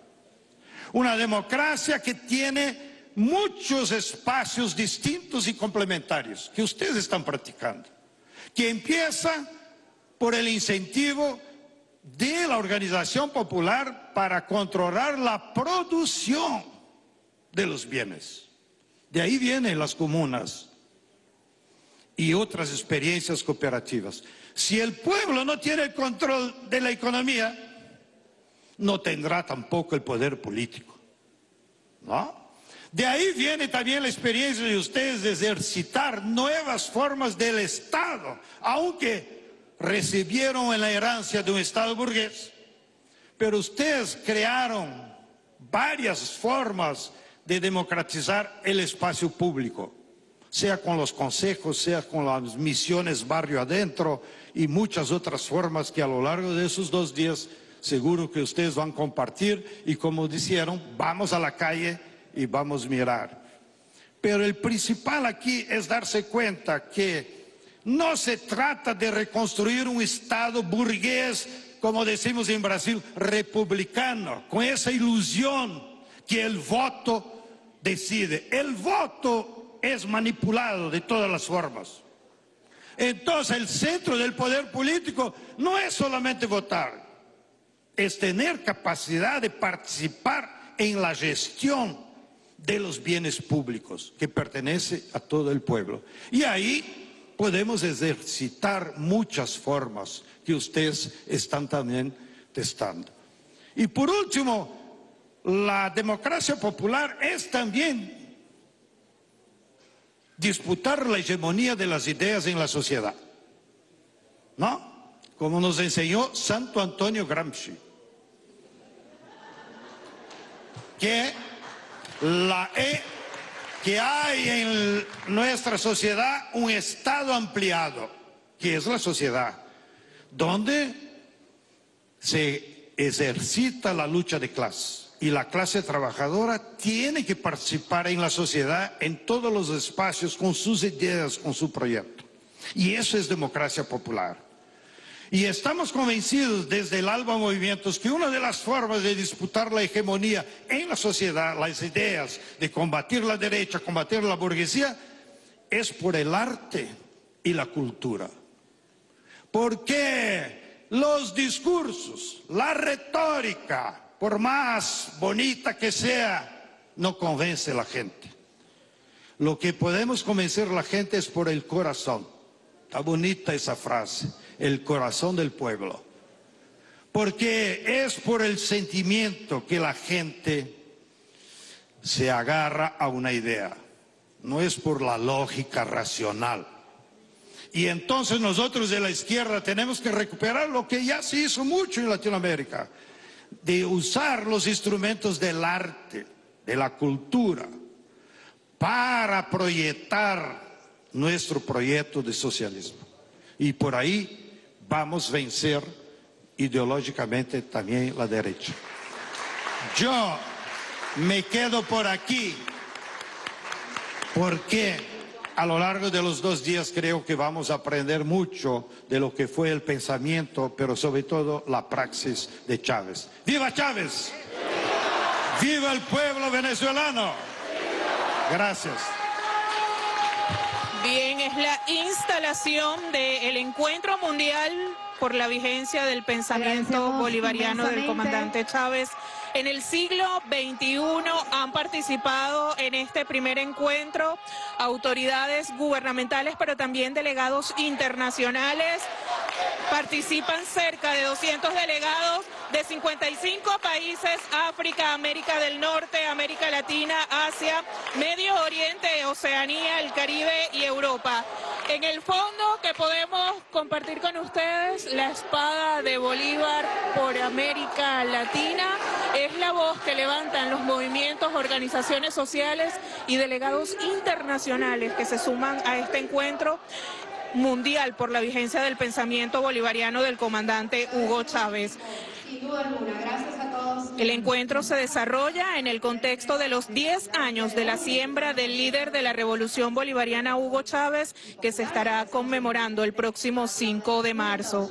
Ha sido parte, destacan que el legado del comandante debe recordarse como de impulso al pensamiento bolivariano a Hugo Chávez. Eh, alegre y que deja una huella en el pueblo venezolano, citando también las palabras que ha dado a conocer el día de hoy el presidente de la República, Nicolás Maduro Moros, en torno a esta fecha. Nosotros hemos precisado que participan de Argentina, Bélgica, Bolivia, Brasil, Camerún, Canadá, Chile, Colombia, Cuba, Ecuador, España, Estados Unidos, Francia, Ghana, Grecia, Guatemala, Haití, Hungría, India, Indonesia, una amplia delegación de participantes internacionales que recuerdan además el legado en América Latina y el Caribe de integración y de construcción además de la solidaridad y de un mundo multipolar, pero además han ratificado el concepto anticolonialista y antiimperialista. Con estas imágenes que manejamos desde la sala José Félix Rivas en el Teatro Teresa Carreño, nosotros vamos a estar atentos, pero por ahora vamos a retornar el contacto a los estudios de Venezolana de Televisión. Adelante. Turismo y cultura.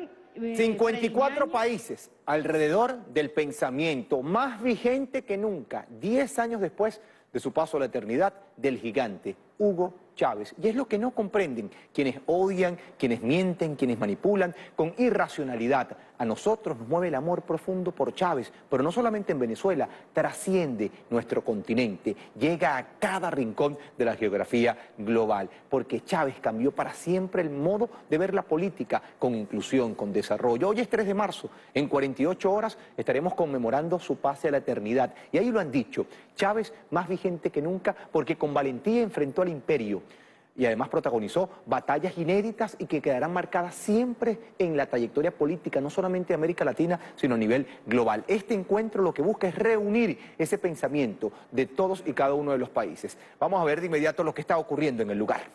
Debo pedir ofrecer mejor excusas por la afectación que tengo en la voz, pero eso es una buena noticia. Seguramente no me voy a poder encadenar, va a ser más fluido. Nos corresponde a nosotros en esta mesa, saludo a todos los compañeros Beto, Tania, Fernando, Prayan.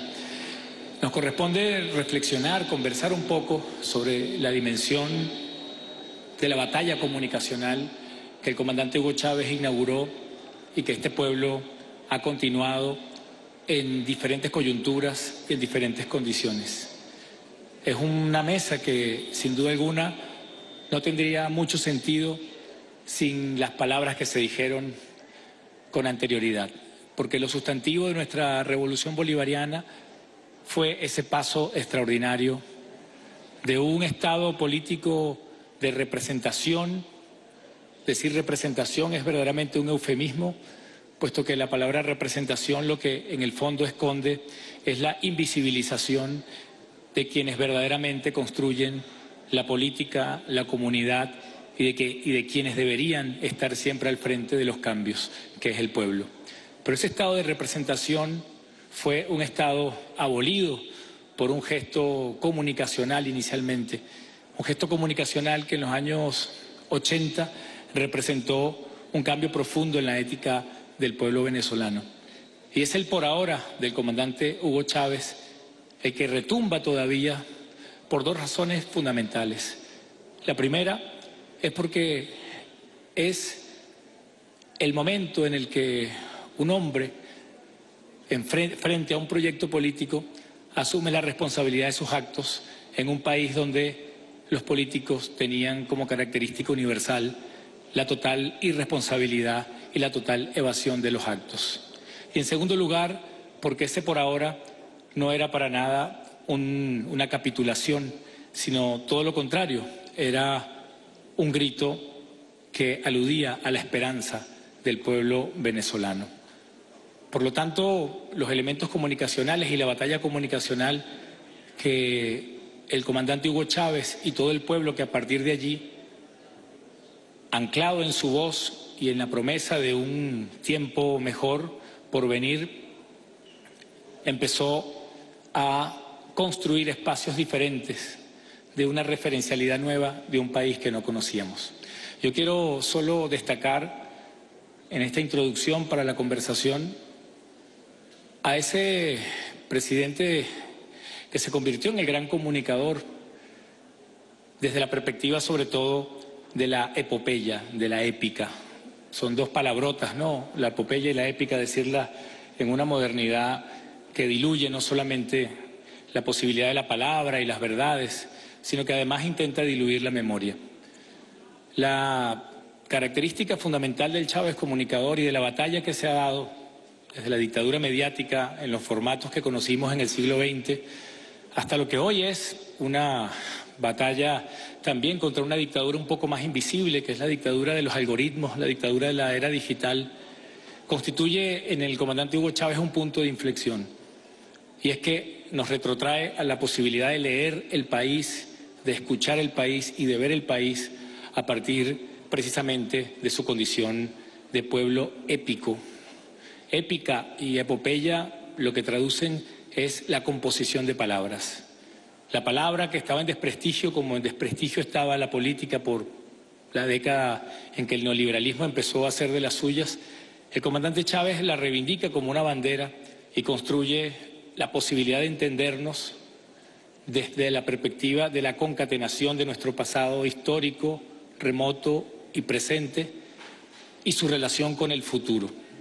Es decir, el gesto de una narración, de un relato complejo de una Venezuela, de una Venezuela que estaba siendo representada malamente por una política alejada de la realidad y del pueblo, pero que desde los aparatos culturales se sostenía en el mito del liberalismo de la exacerbación de la sociedad de consumo y la exacerbación del individualismo. Cuando el comandante Hugo Chávez devela a ese país en una palabra histórica, reconstruye perfectamente la venezolanidad. Y en ese mosaico de la venezolanidad construye una poética donde por fin estamos todos y estamos todas, los pueblos indígenas, los pueblos afrodescendientes, la gesta libertadora que había sido desdibujada por la historiografía oficial, por supuesto la Venezuela que en ese momento se había levantado contra el neoliberalismo y los movimientos sociales que empezaban a tejer la posibilidad de esa democracia directa, de esa democracia participativa. Creo que reivindicar al comandante Chávez en este momento significa también reivindicar nuestra existencia histórica, nuestra existencia como comunidad y por ello mismo es reivindicar lo perenne, aquello que el tiempo no puede diluir y aquello que las estrategias de dominación no pueden precisamente corroer. Y es el etos de un, de un pueblo, es la condición de ser de un pueblo, que ya no es representado, que ya tiene la dignidad de estar presente en la realidad, no como una imagen, no como una estampa, no como parte de una retórica, sino en la realidad concreta, donde se toman las decisiones y se construyen los procesos verdaderos. Una de las dimensiones que el comandante Chávez inaugura en su discurso para el socialismo en el siglo XXI es la dimensión territorial de la que ya los compañeros de la mesa anterior eh, abundaron en el tema. Pero la dimensión territorial también es una dimensión espiritual. No solo se agotaba el discurso o no solo llegaba el discurso del cambio, de la transformación de nuestro proceso a las propias formas de construir una nueva manera de hacer política, sino precisamente de nombrar esto que estábamos construyendo. El comandante Chávez rescata además la palabra socialismo y la incluye en esta épica nacional cuando nombrar el socialismo era como nombrar a la peste. Ni siquiera la intelectualidad de vanguardia estaba dispuesta a declarar y a defender, a hacer una apología directa por este hermoso sueño, por esta hermosa aventura de construir la igualdad y de transformar a la sociedad. De tal manera que el carácter épico y epopéyico que tiene la comunicación eh, en el comandante Hugo Chávez en la Revolución Bolivariana, hoy enfrenta uno de sus grandes adversarios y es precisamente esta era digital, algorítmica, donde se nos prohíbe prácticamente por la vía de los hechos pensar en algo que no sea el instante, donde se nos impone la mm, manera de una existencia en la cual no hay la posibilidad de cargar con la gravedad de los hechos históricos y de entender el mundo a partir de la visión de un proyecto. La era digital que pretende seducir a la política contemporánea, lo que quiere es restarle a la posibilidad de transformar el mundo su fuerza simbólica. Por ello, todas las redes sociales y todas las plataformas que están sustituyendo a la propia sociedad, que están sustituyendo o quieren sustituir a los propios procesos políticos de las sociedades, lo primero que hacen es achicar la palabra, acotarnos a la mínima expresión la posibilidad de nombrarnos y nombrar el mundo, de construir un mundo complejo a partir de la palabra. Se impone entonces un mundo de la imagen, de la emocionalidad, de la instantaneidad que disuelve cualquier posibilidad de reconocernos más allá del tiempo actual, del tiempo que habitamos. Y el gran desafío es precisamente ser originales, no en el sentido moderno de inventar algo inexistente, sino en ir al origen de las cosas. Y yo creo que el origen de la batalla comunicacional que inauguró el comandante Hugo Chávez precisamente está en apropiarnos siempre de la palabra, en no ceder en el terreno de la nominación, del lenguaje y de la poética del pueblo, porque allí en la palabra es donde reside precisamente la esperanza, es donde reside la posibilidad de transformar las cosas, de mirar las cosas en su potencia, en su capacidad de ser otras cosas.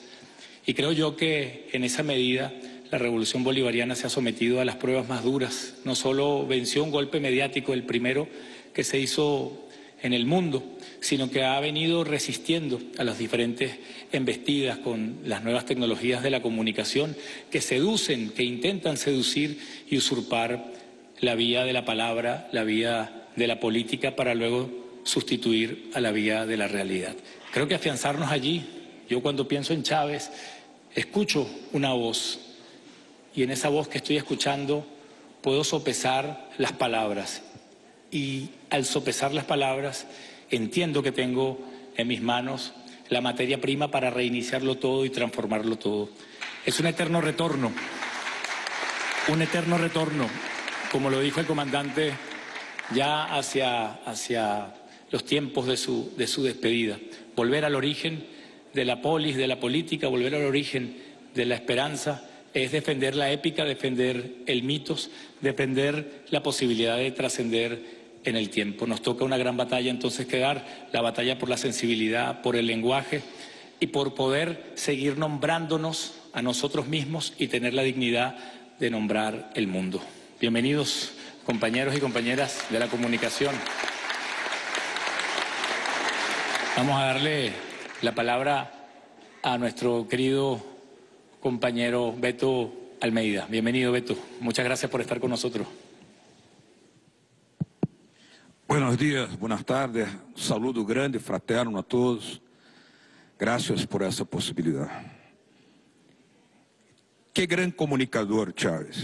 Aqui nasceu Telesur, nesse local, há 17 anos atrás. E é grande comunicador é que sabe los toques la comunicación, y eso Chávez lo sabía.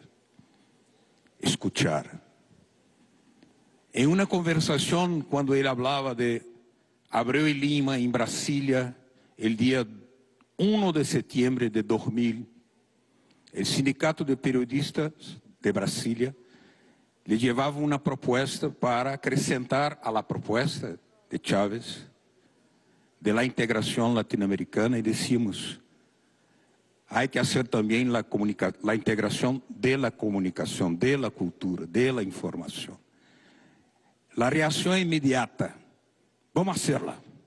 Inmediata, vamos a hacerla. Y ahí tuvimos la suerte de encontrar otros que apoyaron inmediatamente esa propuesta, como el comandante Fidel Castro, que decía, hay que hacer la CNN de los humildes. Y el proceso se puso en marcha y se estableció plazos, metas, processos indispensáveis, se construye. Não se queda como uma tese pairada no aire, se avança. E aqui, nesse local, hace 17 anos, nasceu Telesur.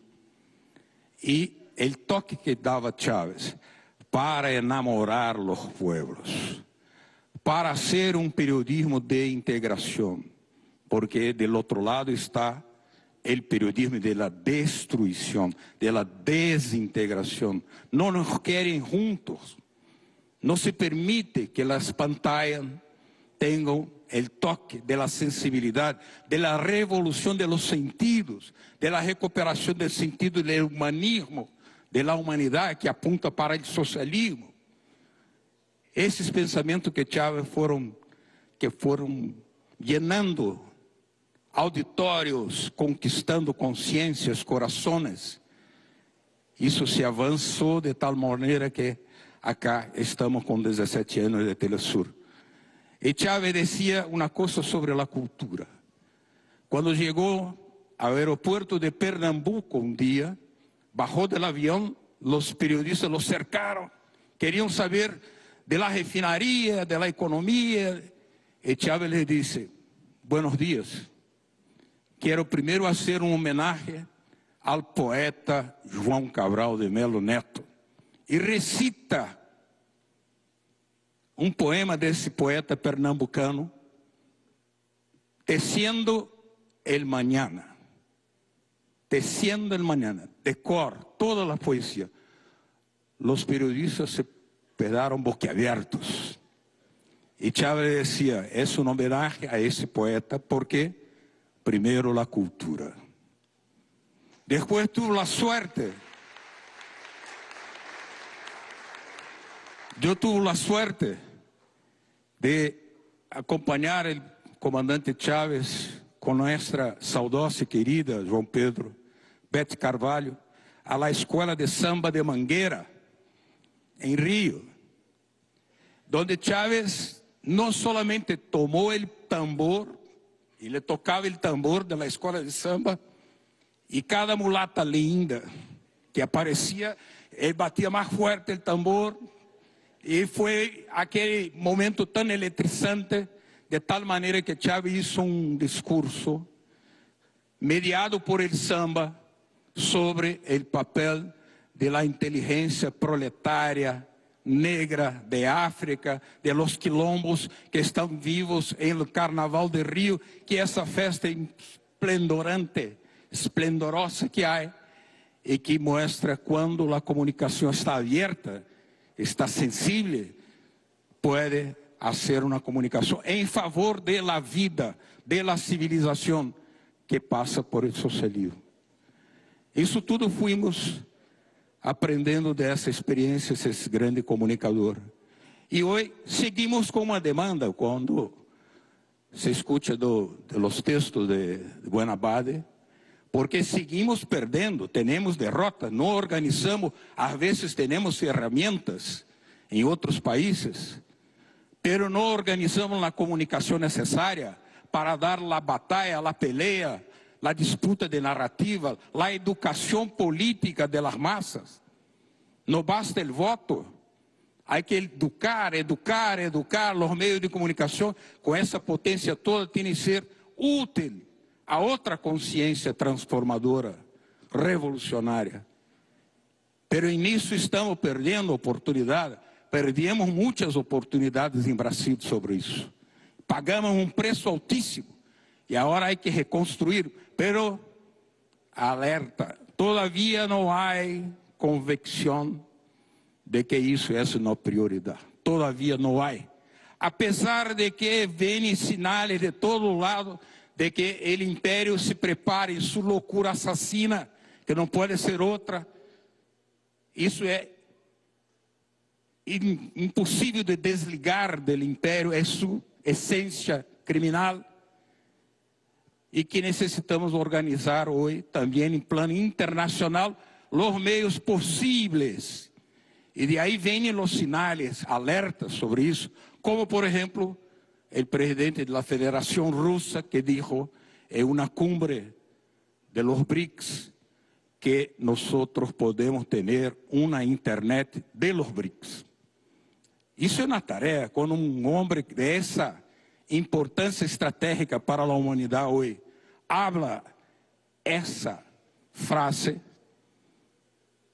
isso com os governos que temos com decisão, convicção, como o governo bolivariano acá, profundamente chavista, com o comandante Maduro, presidente Maduro, são temas a serem pautados em uma cumbre mundial da comunicação, como sempre nos recuerda Buenabad. Isso tem que ser obra nossa e a ser uma internet possível nesse sentido. Então, nesse campo, todavia faltam passos, faltam muitos passos a serem dados, porque as vitórias eleitorais, e isso serve de alerta a alguns países progressistas, governo progressista de América Latina, não são seguramente firmes para dar continuidade à agência transformadora. Há que fazer também a comunicação que crie a educação política, a educação para uma solidariedade, uma comunicação em favor da vida, da integração, em lo simbólico, tal como aquela recitagem do poeta, do poema de Chávez, que Chávez recitou de João Cabral de Melo Neto, em Pernambuco, tecendo el amanhã. Primeiro, a cultura. Viva Chávez!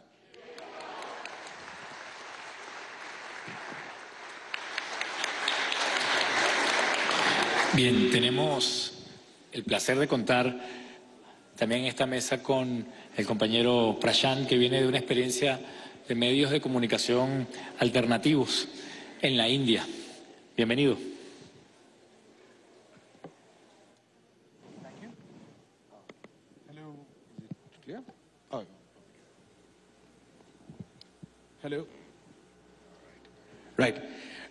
Uh, first of all, En primer I lugar, have to apologize for Quisiera pedirles disculpas por hablar en inglés. haven't learned enough Spanish yet. Desafortunadamente But, uh, I aún no he want to thank, aprendido uh, suficiente castellano, pero quisiera agradecerles a los camaradas, a todos I los amigos y las amigas where, por haber recibido tanto amor.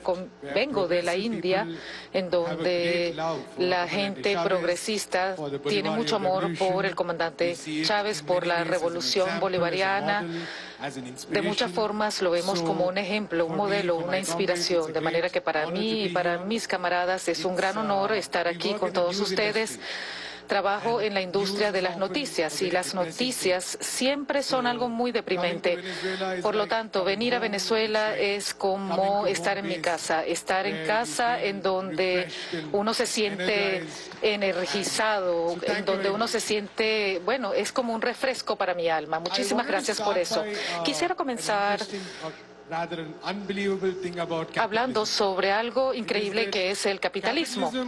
Y es interesante también este tema. El capitalismo trata en la medida posible de decirnos que es solo un sistema económico. El capitalismo trata en sí de decirnos que se trata de mercado, que tiene que ver con matemática, con comercio libre. Y el capitalismo hace su mejor eh, pues intento de decirnos que es todo menos eh, la dictadura de la burguesía. Y en lo que respecta a los medios capitalistas, podemos decir que todos los días del medio capitalista, de su existencia, siempre es algo que va en contra del pueblo. Y yo pienso que cuando hablamos sobre los medios, la comunicación, aquí es donde comenzamos. La existencia de los medios capitalistas pues eh, no tiene nada que ver con los pueblos. Y siempre hablan sobre la guerra, hay diferentes tipos de guerra. Lo que nosotros denominamos eh, la cobertura de la guerra cotidiana. ¿Qué es esto? ¿De qué se trata? Es un estilo simplista.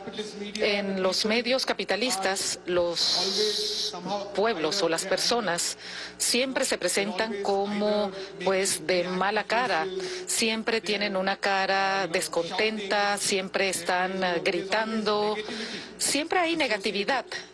Que está relacionada con la masa de la gentes en los medios capitalistas.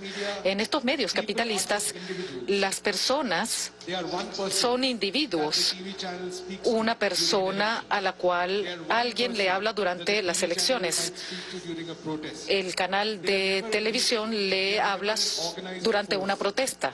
Nunca son un grupo, nunca son un colectivo, nunca son una fuerza organizada. Entonces, desde el punto de vista de los capitalistas, del medio capitalista, es anti-personas, anti-pueblo. Digamos, otra etapa de la guerra, la guerra de diferentes tipos. Bueno, vamos a hablar sobre un ejemplo. Recientemente hubo un asedio en Turquía y sabemos que el pueblo de Venezuela ha sufrido por años durante debido a la naturaleza de las sanciones en contra de Venezuela. Las exportaciones de Venezuela estaban allí para ayudar a la gente en Siria, en Turquía. Pero ¿quién escribió en los medios sobre esta ayuda de Venezuela? Nadie. Durante la pandemia, la brigada de, Cuba, que fue a diferentes países para ayudarlos. ¿Cuáles de los medios hicieron cobertura sobre esto? Ninguno. ¿En dónde se ve en los medios en donde nuestros esfuerzos están allí escritos sobre ello? ¿En dónde podemos leer sobre eso en los medios capitalistas? No hay ningún artículo sobre eso. Entonces, nuestros logros, nuestros, uh, nuestras, todo, todas las cosas que nosotros hacemos, eh, pues los medios capitalistas están en contra de eso. ¿Cuál es el enfoque? yo vengo de la India en donde hay periodistas que dicen, uno de ellos dijo, en la ciudad de Mumbai, en donde, bueno, es una de las ciudades más ah, grandes de la India, 300 periodistas estaban allí para hacer cobertura sobre la Semana de la Moda. Los agricultores durante esa semana estaban cometiendo suicidio, pero nadie escribió sobre esto. El enfoque de la guerra es el tercer tipo de, de la guerra de la cual hablan los medios capitalistas. Ellos son los que deciden en dónde vamos a enfocarnos, en dónde hay que enfocarse, qué va en primera plana. Ellos son los que deciden cuál es la historia que ellos van a sacar, cuál es la cobertura que le van a dar a una historia en particular. y esa es otra etapa de la guerra. Tenemos que recordar que esto está relacionado con los propietarios de los medios. En la India, el hombre más rico es el propietario más poderoso de un canal de televisión. El segundo más rico hace algunos meses acaba de hacer una compra multimillonaria. De manera que hay cosas similares en Estados Unidos. En la gran mayoría de los países, los medios han sido controlados por unos cuantos, unas cuantas personas. Y este es el enfoque a nivel mundial. Pero hay una etapa final de esta guerra también cuando nuestras alternativas se vuelven más fuertes, en donde nosotros no aceptamos que estamos siendo atribulados. Cuando el proceso revolucionario de Venezuela continúa, eh, los medios capitalistas entonces luchan en contra de eso, atacan la posibilidad de cualquier organización a este estilo. Un ejemplo de mi país. Desde el año 2020 a 2021, los agricultores de la India estaban en huelga.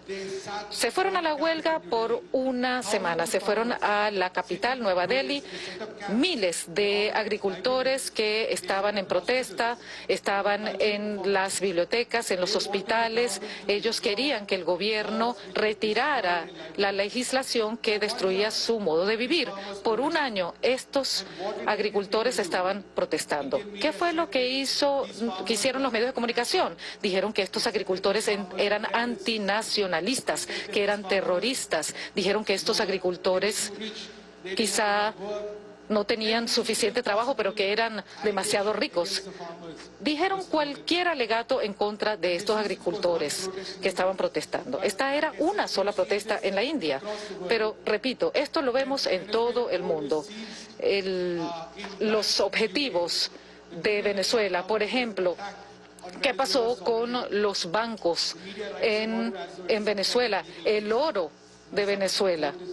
Ustedes saben mejor de eso que yo. De manera que todos nosotros sabemos que las sanciones están allí, que, las sanciones matan los medios capitalistas hablan o reconocen que Estados Unidos está librando una guerra en contra de Venezuela. No, esa es la respuesta. ¿Qué es lo que hacen los medios capitalistas? Hablan sobre la libertad, sobre la democracia, sobre los derechos, todas estas palabras. Hemos luchado por décadas, pero ellos colocan estas palabras y las ponen en un contexto en el cual el significado es diferente. Y esta es la razón por la cual los medios capitalistas están librando diferentes tipos de guerras. Yo pienso que para todos nosotros todo esto tiene que ver, durante todos, estos años tenemos que preguntarnos qué podemos hacer contra esto. Yo trabajo en una organización global de medios en donde ah, trabajamos con diferentes eh, pues, uh, periodistas y trabajamos con movimientos de diferentes pueblos. Y bueno, nuestro trabajo ha sido bastante sencillo para poder librar estas guerras, para poder librar en contra de estos ataques. Nuestro periodismo de esperanza tiene que basarse en dos aspectos. El primero de ellos, nuestro periodismo de esperanza tiene que basarse en la lucha, enfatizando el hecho de que la lucha es lo que nos empuja como sociedad hacia adelante. El deseo de millones de personas es lo que trae el avance. Los medios capitalistas quieren que crean que esas uh, luchas están fuera de la sociedad. Ellos quieren que nosotros pensemos que hay un grupito de personas que están bravos y que están luchando sobre algo que no conocemos. Nosotros sabemos que todos los días hay luchas, todos los días, todos los meses y años. Estas son las luchas que hacen que la sociedad avance hacia adelante. Cualquier medio radical progresista tiene que tener en su núcleo este entendimiento, tiene que entender esto y centrar su atención en estas luchas, colocar las luchas en el centro, no solamente sobre protestas. No deberíamos escribir sobre las luchas solo cuando hay 10.000 personas en una calle en particular. Antes de que salieran 10.000 personas a las calles, la gente se movilizó por meses. En la India, por ejemplo, Muchísima gente se ha movilizado durante meses antes de llegar a un acuerdo, antes de tomar otros pasos para la acción. Todo esto se tiene que cubrir en los medios. Estábamos hablando sobre el comandante Chávez y sobre la idea de su memoria épica, que es el neoliberalismo, el capitalismo. Ellos tratan de ir en contra de esta memoria que ellos tratan de que nosotros como individuos estemos desconectados, pero tenemos que entender cuál es esta memoria épica. Tiene que estar en el centro de los medios de comunicación y esto es lo que estamos tratando de construir. Creo que las organizaciones en el mundo entero están tratando de hacer. El segundo aspecto tiene que ser, de manera concreta, hacer que la gente entienda qué es lo que es el imperialismo hoy en día. Hay un malentendido inmenso sobre qué es el, ah, el imperialismo. Incluso la gente que cree lo que nosotros creemos, los progresistas, muchos de ellos no comprenden a cabalidad qué es el imperialismo. Por lo tanto, esto reviste en un problema. El imperialismo, tenemos que comprender muy bien qué es este concepto cómo podemos unir nuestras acciones en contra del imperialismo. Es una de las posibilidades que tenemos que realizar de manera conjunta en los medios de comunicación a nivel internacional.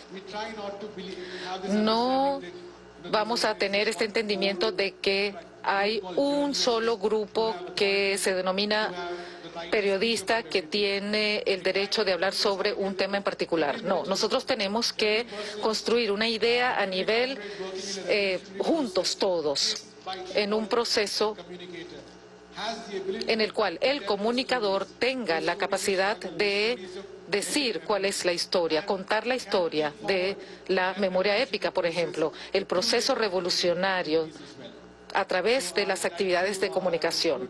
Quisiera concluir con estas palabras. Muchísimas gracias de nuevo a todos ustedes por haberme invitado a estar en Venezuela de nuevo. Muchísimas gracias por su atención. Muchísimas gracias a ti, hermano Rayan. Vamos ahora a dar la palabra a Tania Díaz, que tiene una gran experiencia en la comunicación política en nuestro país, como ha sido jefa de diferentes misiones comunicacionales, es periodista y hoy tiene la inmensa tarea también de la formación ideológica. Bienvenida, Tania. Gracias. Que viva Chávez. Qué bonita reunión, vale, qué bonito reencuentro.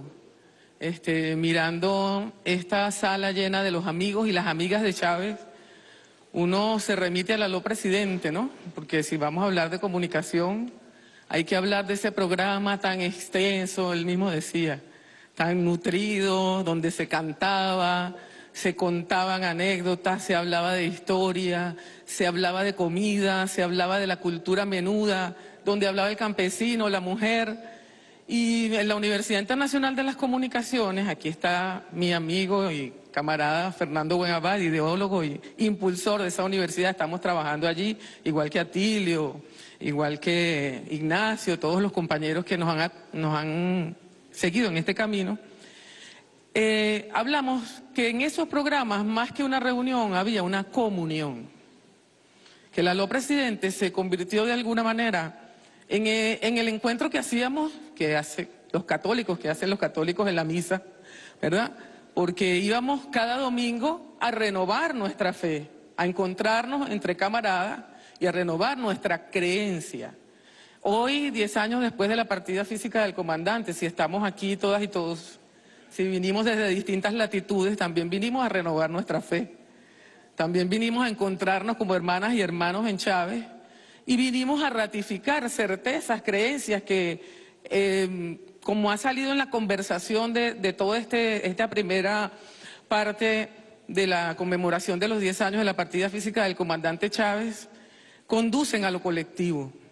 Eh, yo creo que si vamos a hablar de comunicación chavista y vamos a, poner eso en el centro del debate, en este mundo desquiciado y violento, amenazante en el que estamos viviendo, eh, lo dijo Ana Caón aquí, lo dijo Joao Pedro, lo comenta también eh, el compañero. O sea, lo colectivo es eh, fundamental para evaluar la forma de comunicación que nos puede permitir establecer una defensa estratégica frente al algoritmo y a toda la comunicación digital que pareciera a veces avasallante, ¿no? Por eso este, me complace mucho, quiero agradecer en nombre de Venezuela, del pueblo venezolano, que estemos aquí los invitados internacionales y que estén las comunas y que esté el Frente Fernanda Bolaños y que estén los estudiantes y que estén los trabajadores, que estén los diputados y diputadas de la Asamblea Nacional. En fin, porque yo creo que hay tres aspectos que destacar para evaluar la comunicación ahora sobre la comunicación chavista. Chávez fue un adelantado a su tiempo, ¿no? Primero, esa capacidad de concentrar el ser, el espíritu nacional en una locución, o el ser y el espíritu brasilero en una, en una locución, y convocarnos a todas y a todos desde nuestras identidades y certezas como pueblo. Ese es un elemento. El otro es el concepto de pueblo comunicador. A comienzos de este siglo, me pareciera que son poquitos años, pero mira cómo ha avanzado todo el tema, cómo ha, cómo ha crecido la amenaza y también las oportunidades en el tema de la comunicación. Que la batalla era mediática porque se desarrollaba en el escenario de los medios. El concepto de pueblo comunicador del comandante nos enseñó a pensar y a hacer la comunicación popular. Es decir, nosotros aprendimos a hacer comunicación sin los medios. Él nos hizo entender que nosotros podíamos ser un pueblo comunicador y entendernos entre nosotros sin que mediara la industria de la comunicación y los canales de televisión y las emisoras de radio, ¿no? Creo que es un elemento importante a considerar. Y el otro tema son las redes. Cuando salió Chávez Candanga, cuando salió Twitter, eh, bueno, hay compañeros aquí que son cómplices de esa cosa, porque aquí está Ernesto Villegas, que es ministro de Cultura, pero en ese momento era ministro de Información, si mal no recuerdo, ¿no? El comandante Chávez avanzó en la materia de las redes sociales, en el manejo, él se puso a la vanguardia de la incursión del pueblo comunicador en las redes sociales y nos mandó a armar una tropa digital y a meternos todos en Twitter y aprender a trabajar en Twitter, ¿no? Que fue la primera red que salió. Hoy estamos viendo un mundo donde esas redes cada día se reinventan, cada día parecieran avanzar más y avasallar más nuestra individualidad cada día pareciera que tienen más dominio sobre nuestra conducta. Pero hay un elemento importante a considerar, ¿no? Que es el tema de esa organización humana que se da y que permite, en el caso de Venezuela, eh, materializar momentos de comunión y de defensa como el que vimos el 11 de abril o como el que vimos en la batalla de los puentes. Voy aquí a hacer un alto. Yo traje unas cosas escritas para no pasarme de los siete minutos.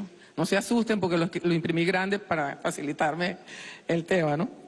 Pero me lleva a la siguiente pregunta, ¿no? Porque yo creo que el debate, más allá del algoritmo y de las redes sociales que tenemos que estudiar y estudiar a profundidad, anoche me cayó en las manos el libro de Ramonet sobre el conspiracionismo y me, desveló, hasta las 4 de la mañana, se los cuento. Y no terminé de leer, ¿no? ¿Verdad? Eso tenemos que evaluarlo. Yo creo que lo importante en esta reunión es preguntarnos cuál es el modelo que se contrapone al modelo capitalista en lo cultural. ¿Cuál es el modelo? ¿De dónde lo vamos a sacar? Y entonces me lleva a preguntarme hoy, 10 años después, de la partida física del comandante Chávez, que es nuestro hermano, que es nuestro amigo, con el que compartimos anécdotas, nos reímos, lloramos, nos sentimos y lo añoramos todos los días, cada día más. Pero preguntarnos cómo vamos a leer a Chávez, cómo vamos a ver Chávez hoy 10 años después. Porque yo veo que hablamos del proyecto Chávez, pero cuando uno se pone a evaluar lo que el comandante Chávez dejó en este mundo, Creo que ya llegó el momento de verlo más allá del proyecto y de la persona. Llegó el momento de estudiar qué fue lo que hizo el comandante Chávez para marcar un cambio significativo en la región y en el mundo. ¿Qué fue lo que dejó realmente en teoría y praxis el comandante Chávez para dejar esta, para cambiar y para incidir en la lucha de los pueblos en todo el mundo? ¿Qué fue lo que hizo? Creo que nos llama a estudiar más en profundidad este tema y entonces nos preguntamos cuál es el modelo, ¿no? comandante Chávez cuando instaló la Asamblea Nacional Constituyente aquí en el año 99, él, bueno, se remitió a las tres raíces de la Revolución Bolivariana y citó a Simón Rodríguez, a su maestro, pero además eh, ideólogo de la toparquía que dio origen a las comunas de las que también nos describieron Jorge y, y, la, y la, compañera de, la comuna del Panal, Atahualpa, ¿verdad? Eh, también nos habló de la educación como el centro de la sociedad. Y Rodríguez decía, decía, yo creo que tengo la cita por aquí, ¿a dónde iremos a buscar los modelos? La América española es original, dijo Rodríguez. Originales han de ser sus instituciones y su gobierno. Y originales los medios de fundar uno y otro. O inventamos o erramos. La América no debe imitar servilmente, sino ser original. Entonces preguntarnos dónde buscó el comandante Chávez el modelo del socialismo bolivariano del siglo XXI, Farruco, comandante Reyes Reyes que está por allá, que pensaron tanto con el, con el presidente Chávez. ¿Dónde lo buscó? Lo buscó en, la, en el socialismo técnico, científico, industrial. El comandante Chávez lo buscó en nuestras raíces, en esa épica de la cual nos habla el ministro de Comunicación Freddy Ñáñez con su prosa y su poesía de siempre, ¿no? Pero lo buscó ahí, lo buscó en la épica histórica del pueblo venezolano, profesora Borges.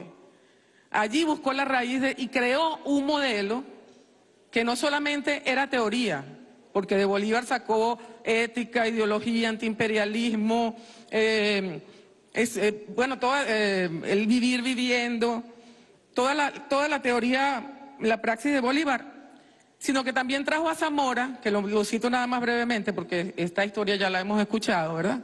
Pero Zamora que decía, la revolución no se ha dado, Le de- tenemos una deuda con los pueblos, no ha sido popular. Y estaba permanentemente en la historia que el comandante Chávez nos contó el tema de la traición, de cómo las luchas populares fueron traicionadas.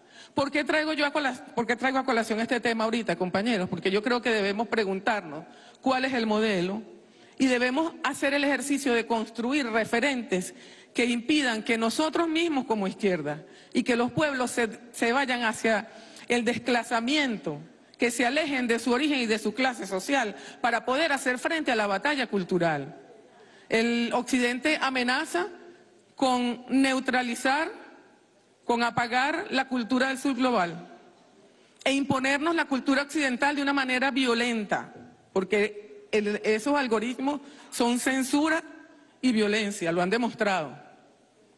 Nos dicen abiertamente, vamos a por la cultura de los pueblos y lo dicen abiertamente cuando pongo el caso de la censura que le quieren aplicar a Rusia o que le aplican a Rusia en este momento y de la censura que nos aplican a nosotros como revolución bolivariana. El bloqueo no es solamente económico, no es solamente político, que también, no es solamente diplomático.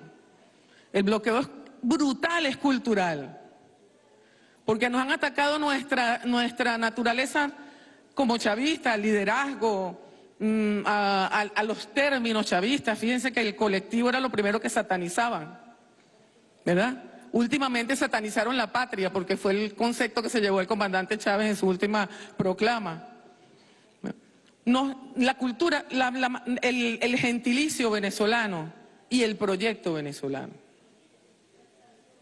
Nosotros sí somos una amenaza inusual y extraordinaria. Porque cuando uno oye hablar aquí a Atahualpa y lo que vamos a ver en las calles de Caracas, nosotros sabemos que ese modelo no solamente el, comandante Chávez lo pensó, sino que lo hizo praxis común revolucionaria y sigue vigente, vivo, cada día creciendo aquí en Venezuela.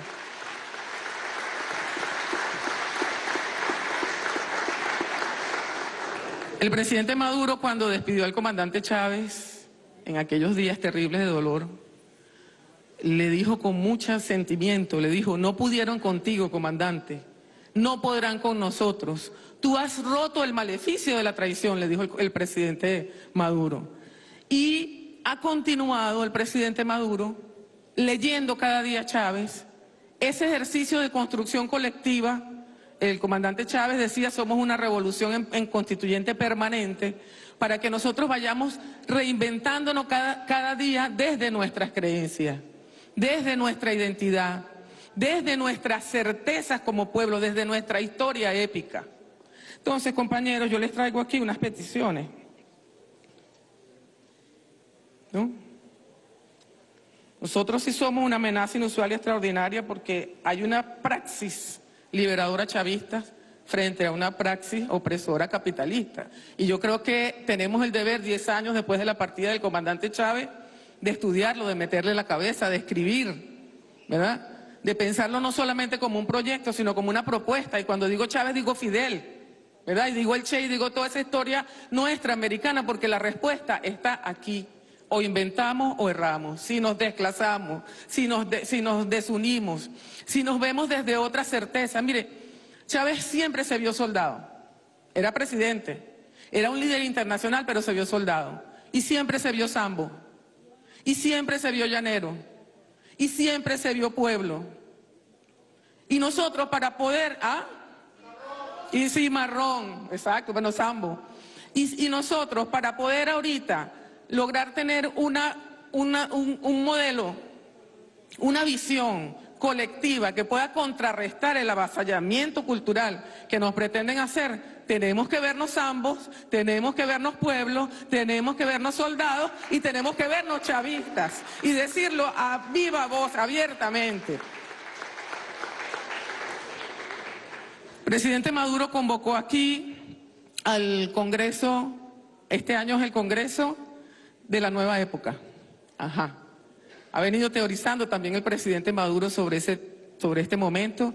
Eh, Héctor nos hizo un resumen, habló de las 3R.net, que es un, un concepto bellísimo que les invito a leer. ¿Y ha convocado cuánta gente? Sí. Sí. Son 30 mil personas en asamblea analizando temas sobre esta época y viendo cómo vamos a avanzar hacia la próxima etapa. Y son personas de distinta naturaleza, todos los sectores sociales, son como 30 sectores sociales. ¿Qué les quiero yo pedir desde la humildad, mis amigos, hermanos en Chávez? Primero, mirar más allá del ser humano excepcional, ¿verdad? Bondadoso y hermoso, empecinado, terco, que era el comandante Chávez. Todos lo vivimos y lo seguimos disfrutando porque lo llevamos en nuestro corazón. Pero vamos a afianzarnos en lo que significó el pensamiento Chávez y en lo que puede el pensamiento Chávez ofrecer en este momento a ese mundo occidental que pareciera no tener respuesta para darle al mundo en, paz. Decía Bolívar, no han pensado, no pueden dar respuesta a la libertad del hombre. Será, decía Bolívar en su tiempo, que le toca al nuevo mundo darle lecciones al viejo mundo sobre la libertad del hombre, decía Bolívar en aquel momento. Otro, vamos a buscar la respuesta a las grandes interrogantes en nuestro seno. Aquí hay que leer todas las teorías, hay que buscar, pero bueno, Buenabad seguramente va a hablar de eso porque es, ha sido un, un empecinado en que busquemos en el seno de los pueblos esta respuesta. Y a propósito de lo que decía Atahualpa, vamos a zambullirnos en las catacumbas del pueblo, como lo decía Chávez. Allí está la realidad. Lo demostró el pueblo de Colombia, ahorita eligiendo a Petro, lo demostró el pueblo de Brasil. Allí es cierto, allí estaba actuando todo el capitalismo con su guerra. También le aplicaron guerra cibernética y big data y toda esta manipulación, es cierto. Pero ¿por qué, por qué surge? Porque cuando se tiene esa certeza, cuando uno conoce su historia, como decía el comandante, cuando uno se siente parte de su clase, cuando conoce su cultura y ese pueblo emerge como constituyente, nadie lo detiene. Eso es lo que ha pasado. Y luego, bueno, estudiemos al pensamiento Chávez, estudiemos al modelo Chávez, estudiemos la praxis Chávez y, muy sinceramente, no permitamos de verdad porque pasa que de la revolución chavista del presidente Maduro no se habla.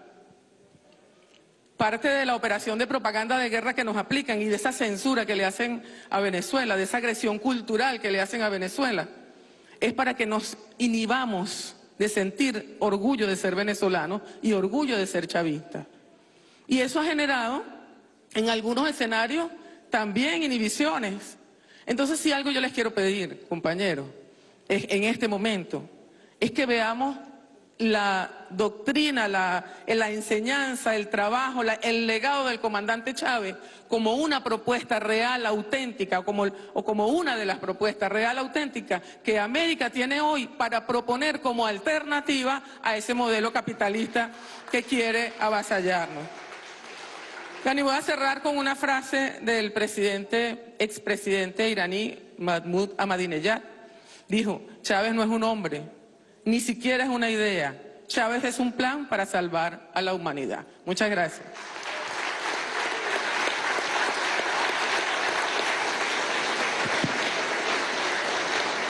Gracias, Tania. Vamos a cerrar entonces este panel con broche de oro, invitando a nuestro compañero Buenabat. Bienvenido desde México. Muchas gracias.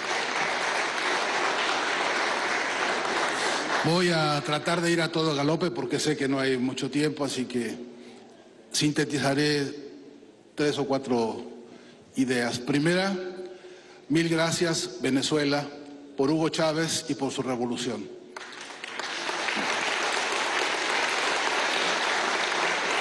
Todo, todo lo que yo pueda decir ahora de, mi, desde mi vocerío personal y del vocerío de mi experiencia y de mis compañeros ahora diré quiénes, es gracias, siempre gracias, mil veces gracias, porque porque es un privilegio enorme poder venir hoy acá, este día, con ustedes, a recordar, a sentir, a vibrar con ustedes una memoria que está más viva que nunca, una memoria plena de futuro, por cierto, la de Hugo.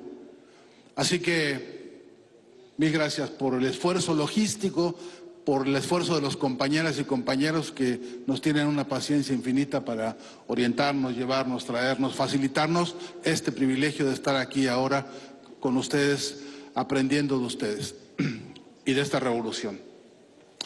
Eh, quiero decir que un día, una tarde en Miraflores, tuve la, la fortuna inmensa de ver al presidente Chávez trabajando en un documento que estaba entonces él bocetando y ese documento meses después pasó a llamarse el Plan de la Patria.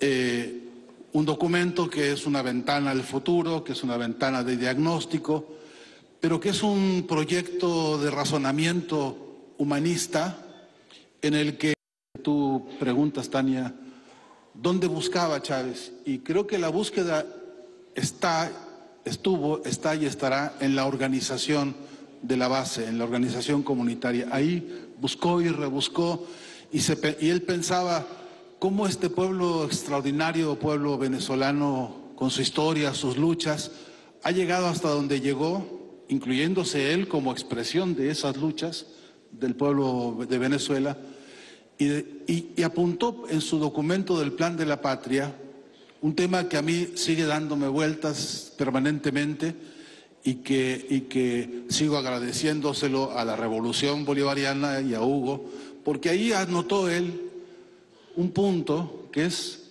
el punto de no retorno. En el plan de la patria se preguntaba el comandante, el líder, vocero de esta revolución, se preguntaba, ¿cómo le hacemos para que no haya retroceso en todo lo que hemos conquistado? Ese no haya retroceso es que no nos vuelvan a robar el petróleo, que no nos vuelvan a robar esto y el otro, pero decía él, principalmente que no nos roben la cabeza, que no nos roben los corazones otra vez, para que no vuelva a pasar esa cosa dolorosa que a él le dolía tanto, que era ver a los oprimidos defendiendo a sus opresores.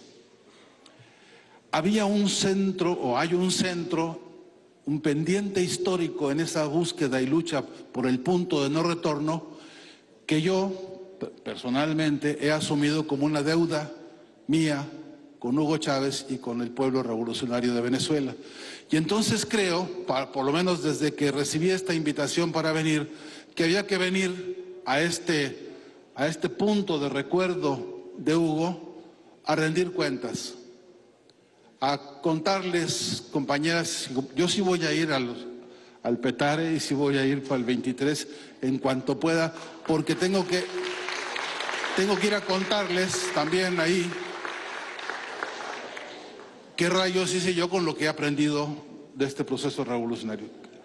¿Qué rayos hice con el aprendizaje ese? Porque hay que rendir cuentas. Entonces, quiero decir que unas cuentas que hay que rendir son al menos tres grandes cosas. Ahora mismo las sintetizo porque son muchas más que las que yo he visto y cada cual hará su propio balance de vida, de experiencia y de aprendizaje. ¿Dónde está vigente Hugo Chávez? Acabo de publicar en México, en el periódico La Jornada, un trabajo sobre Hugo Chávez, vigente, protagonista de mil batallas comunicacionales. Y él dijo alguna vez, una revolución comunicacional de un solo hombre no sirve para nada. Es de gran ayuda y la de él era un instrumento orientador fundamental, pero él siempre supo que era insuficiente. La magnificencia del aló presidente, con esa escuela de formación de cuadros en que se convirtió, tenía fulgores verdaderamente extraordinarios, pero era insuficiente. Por eso alguna vez en, en, clave de organización y en clave de punto de no retorno, hablamos de la necesidad de una cumbre de presidentes en materia de comunicación, de una cumbre de los pueblos en materia de comunicación, de un, de un espacio de encuentro organizativo que nos permitiera poner en, estrategia común las fuerzas que somos. Cada día somos más voluntades comunicacionales en este continente nuestro. Todo mundo. ¿Cuántos aquí cargan teléfono celular? O al revés, hay alguien que no tenga un teléfono, imagínate lo que sería si ahora aquí consolidáramos una estrategia de comunicación para que cada uno con su teléfono, suponte que llegara a 10 personas, le avisáramos que Hugo está más vivo que nunca y que la revolución lo tiene prendido en el corazón y que ningún anhelo de olvido va a funcionar. Se podría. El 1 por 10 telefónico ahora, que cada cual se agarre su teléfono. ¿Qué pasaría si ahora hubiera un ejercicio de comunicación así desde aquí y ahora con todos nosotros? Sería en todo caso un, un ejemplo de lo que pasaría si un continente entero, un archipiélago inmenso de voluntades comunicacionales emancipadoras, pudiera encontrar un- una estrategia de organización, que es lo que nos está faltando. Y en eso, compañeras y compañeros, Hugo Chávez era inclemente con la crítica, lo sabemos todos, ¿no? No le temblaba el pulso para decir en qué cosas hemos cumplido y en cuántas no. Y la materia comunicacional, compañeras y compañeros, es una de nuestras más grandes debilidades políticas. Nos duele más que la agresión del imperio nuestra desorganización, nuestra incapacidad de convertirnos en una voz profunda, colectiva y unificada, organizada programáticamente, no solo de voluntad, no solo de, corazón, no solo de buena onda, sino con un programa de lucha organizado para este proyecto de revolución comunicacional. Y entonces, ¿cuáles podrían ser las estrategias o los pasos? Muchas. Ahora diré, rindiendo cuentas y, contando intimidades, que al menos en dos o tres campos concretos se está dando una batalla que es importantísima, liderada por Venezuela, que es vanguardia en eso. Uno, está viva una red de intelectuales en defensa de la humanidad. No es poca cosa en un mundo en el cual el, paisaje macabro que nos, que, nos, que nos impone el imperio está conduciéndonos a la certeza de que entonces no hay futuro, de que no servimos para nada y que hay que someternos a los caprichos del negocio bélico del imperio. Está viva una red, está viva una red que ahora, con motivo de este, de este recuerdo y de esta eh, eh, conmemoración eh, por Hugo Chávez, pero por la revolución bolivariana, debería relanzarse en, el sentido de una corriente de pensamiento humanista parido por una revolución como esta. Esto nos urge y hay que difundirlo. Y la propia red que ha venido discutiendo en estos días sus tareas en el corto, en el mediano y en el largo plazo, ha considerado y reconsiderado convertirse en una corriente fuerte de la orientación humanística que se necesita hoy en el planeta. Y entonces de la mano de los hermanos cubanos, de la mano de los hermanos de todo el mundo que están eh, eh, comprometidos con esta red del pensamiento hacia una idea del humanismo revolucionario, salda una tarea que se sigue cumpliendo porque es un compromiso con Hugo Chávez y con la revolución bolivariana. Pero además Hugo Chávez en su cabeza tenía siempre, ustedes lo saben mejor que nadie, la urgencia de educarnos, de formarnos. Él era un edu- educador sistemático, profundo, que además a sí mismo se educaba en público. ¿Cuántas veces lo vimos todos leyendo y releyendo y comentando lo que acababa de leer y, debatiendo consigo mismo las ideas que le removía el autor o que le ratificaba? Era un una- un motor, una fuerza moral aprendiendo y difundiendo. Bueno, eh, una de sus preocupaciones fue siempre la, la educación de los protagonistas de la comunicación revolucionaria. Hugo Chávez pensaba en una universidad de la comunicación para la revolución de la comunicación y para la revolución de la propia idea de universidad y para la, re- la- la revolución que había que contagiarnos todos. Y entonces surgió la Universidad Internacional de las Comunicaciones, cuya rectora tenemos aquí de cuerpo presente, la hermana querida camarada Tania Díaz. Eh, está en marcha, eso está cumpliendo un mandato del comandante Hugo Chávez, está cumpliendo un mandato y un compromiso que tenemos todos con él y con su pueblo.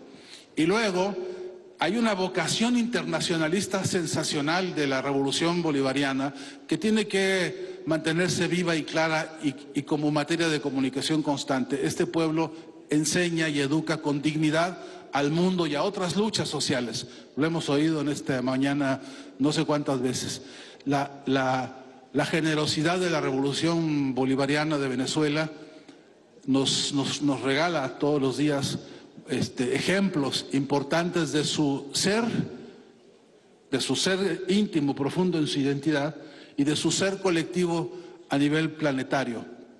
Y entre otras cosas, hace, hace, hace esta revolución eh, ep- episodios de audacia, se lo voy a contar, yo de chismoso, pero se lo voy a contar, porque mi hermano querido Ernesto Villegas ya se fue a parar ante la UNESCO mismo a decirles urge que renovemos la Comisión Mundial de Estudios sobre la Comunicación que produjo el informe McBride y fue Venezuela, en voz de Ernesto, que se fue a parar ahí para insistir en que esto tiene que hacerse porque, porque lo que en 1980 el informe McBride ya advertía como un problemón tremendo, decía entonces, decía el informe, el avance de los monopolios en comunicación es una amenaza contra las democracias. Ahí lo dice. Y dice, hay que discutir profundamente el papel de los estados frente a los proyectos de comunicación en términos de educación, en términos de legislación, en términos de democratización de la comunicación. Bueno, pues ese paisaje que presentaba en 1980 el informe McBride hoy ha empeorado significativamente. Entonces digo, hay que echarle muchos pantalones, mucha audacia y mucha inteligencia para conseguir un día, como hizo Ernesto, pararse en ese escenario y decir, ¿qué les parece, compañeras y compañeros, si mantenemos viva esta vocación de pensamiento crítico y de pensamiento transformador en el campo de la comunicación? Y eso cumple es una tarea que está en marcha, a la que nos sumamos todos, que todos abrazamos fraternalmente, porque ahora andamos viendo cómo resolver. El compromiso con Hugo Chávez es organizarnos mejor cada vez para ser más eficaces y poder pasar a esto que habla Nicolás, Nicolás, Nicolás, lo que ha tenido que cargar este hermano camarada en sus hombros. eh, eh,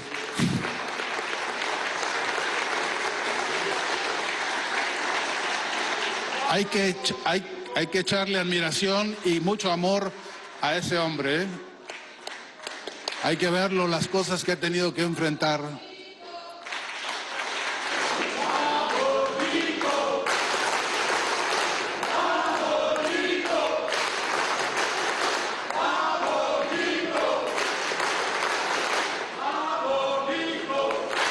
Hay que, hay que mandarle siempre a Nicolás un abrazote de reconocimiento de hermanos por verlo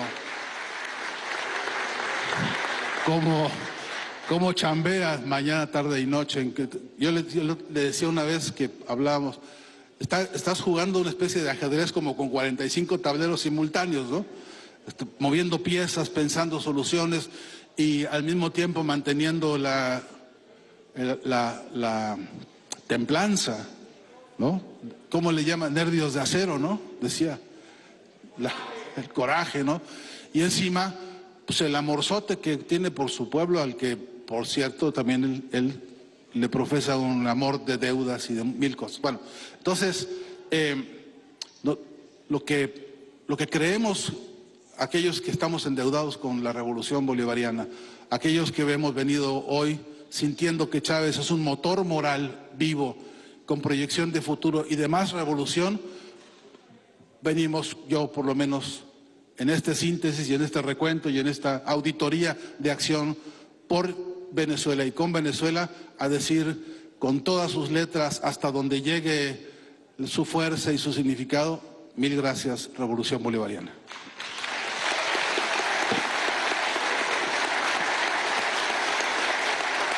Intervención de las delegaciones internacionales. Gracias, señor Fernando Precisado encuentro mundial por la vigencia del pensamiento bolivariano del comandante Chávez en el siglo XXI. a todos los invitados nacionales e internacionales que también han acompañado este encuentro. Agradecemos al viceministro de Comunicación, o al, perdón, vicepresidente sectorial de Comunicación, Cultura y Turismo, el ministro Frei Ñáñez. Agradecemos también al señor Fernando Buenavad. Agradecemos también a... Allí tenían detalles en vivo y directo este encuentro mundial. Nuevamente Venezuela, epicentro de la información, de la solidaridad, hermandad, de apoyo y de mucha admiración a este proceso revolucionario que comenzó con el comandante eterno Hugo Rafael Chávez Frías.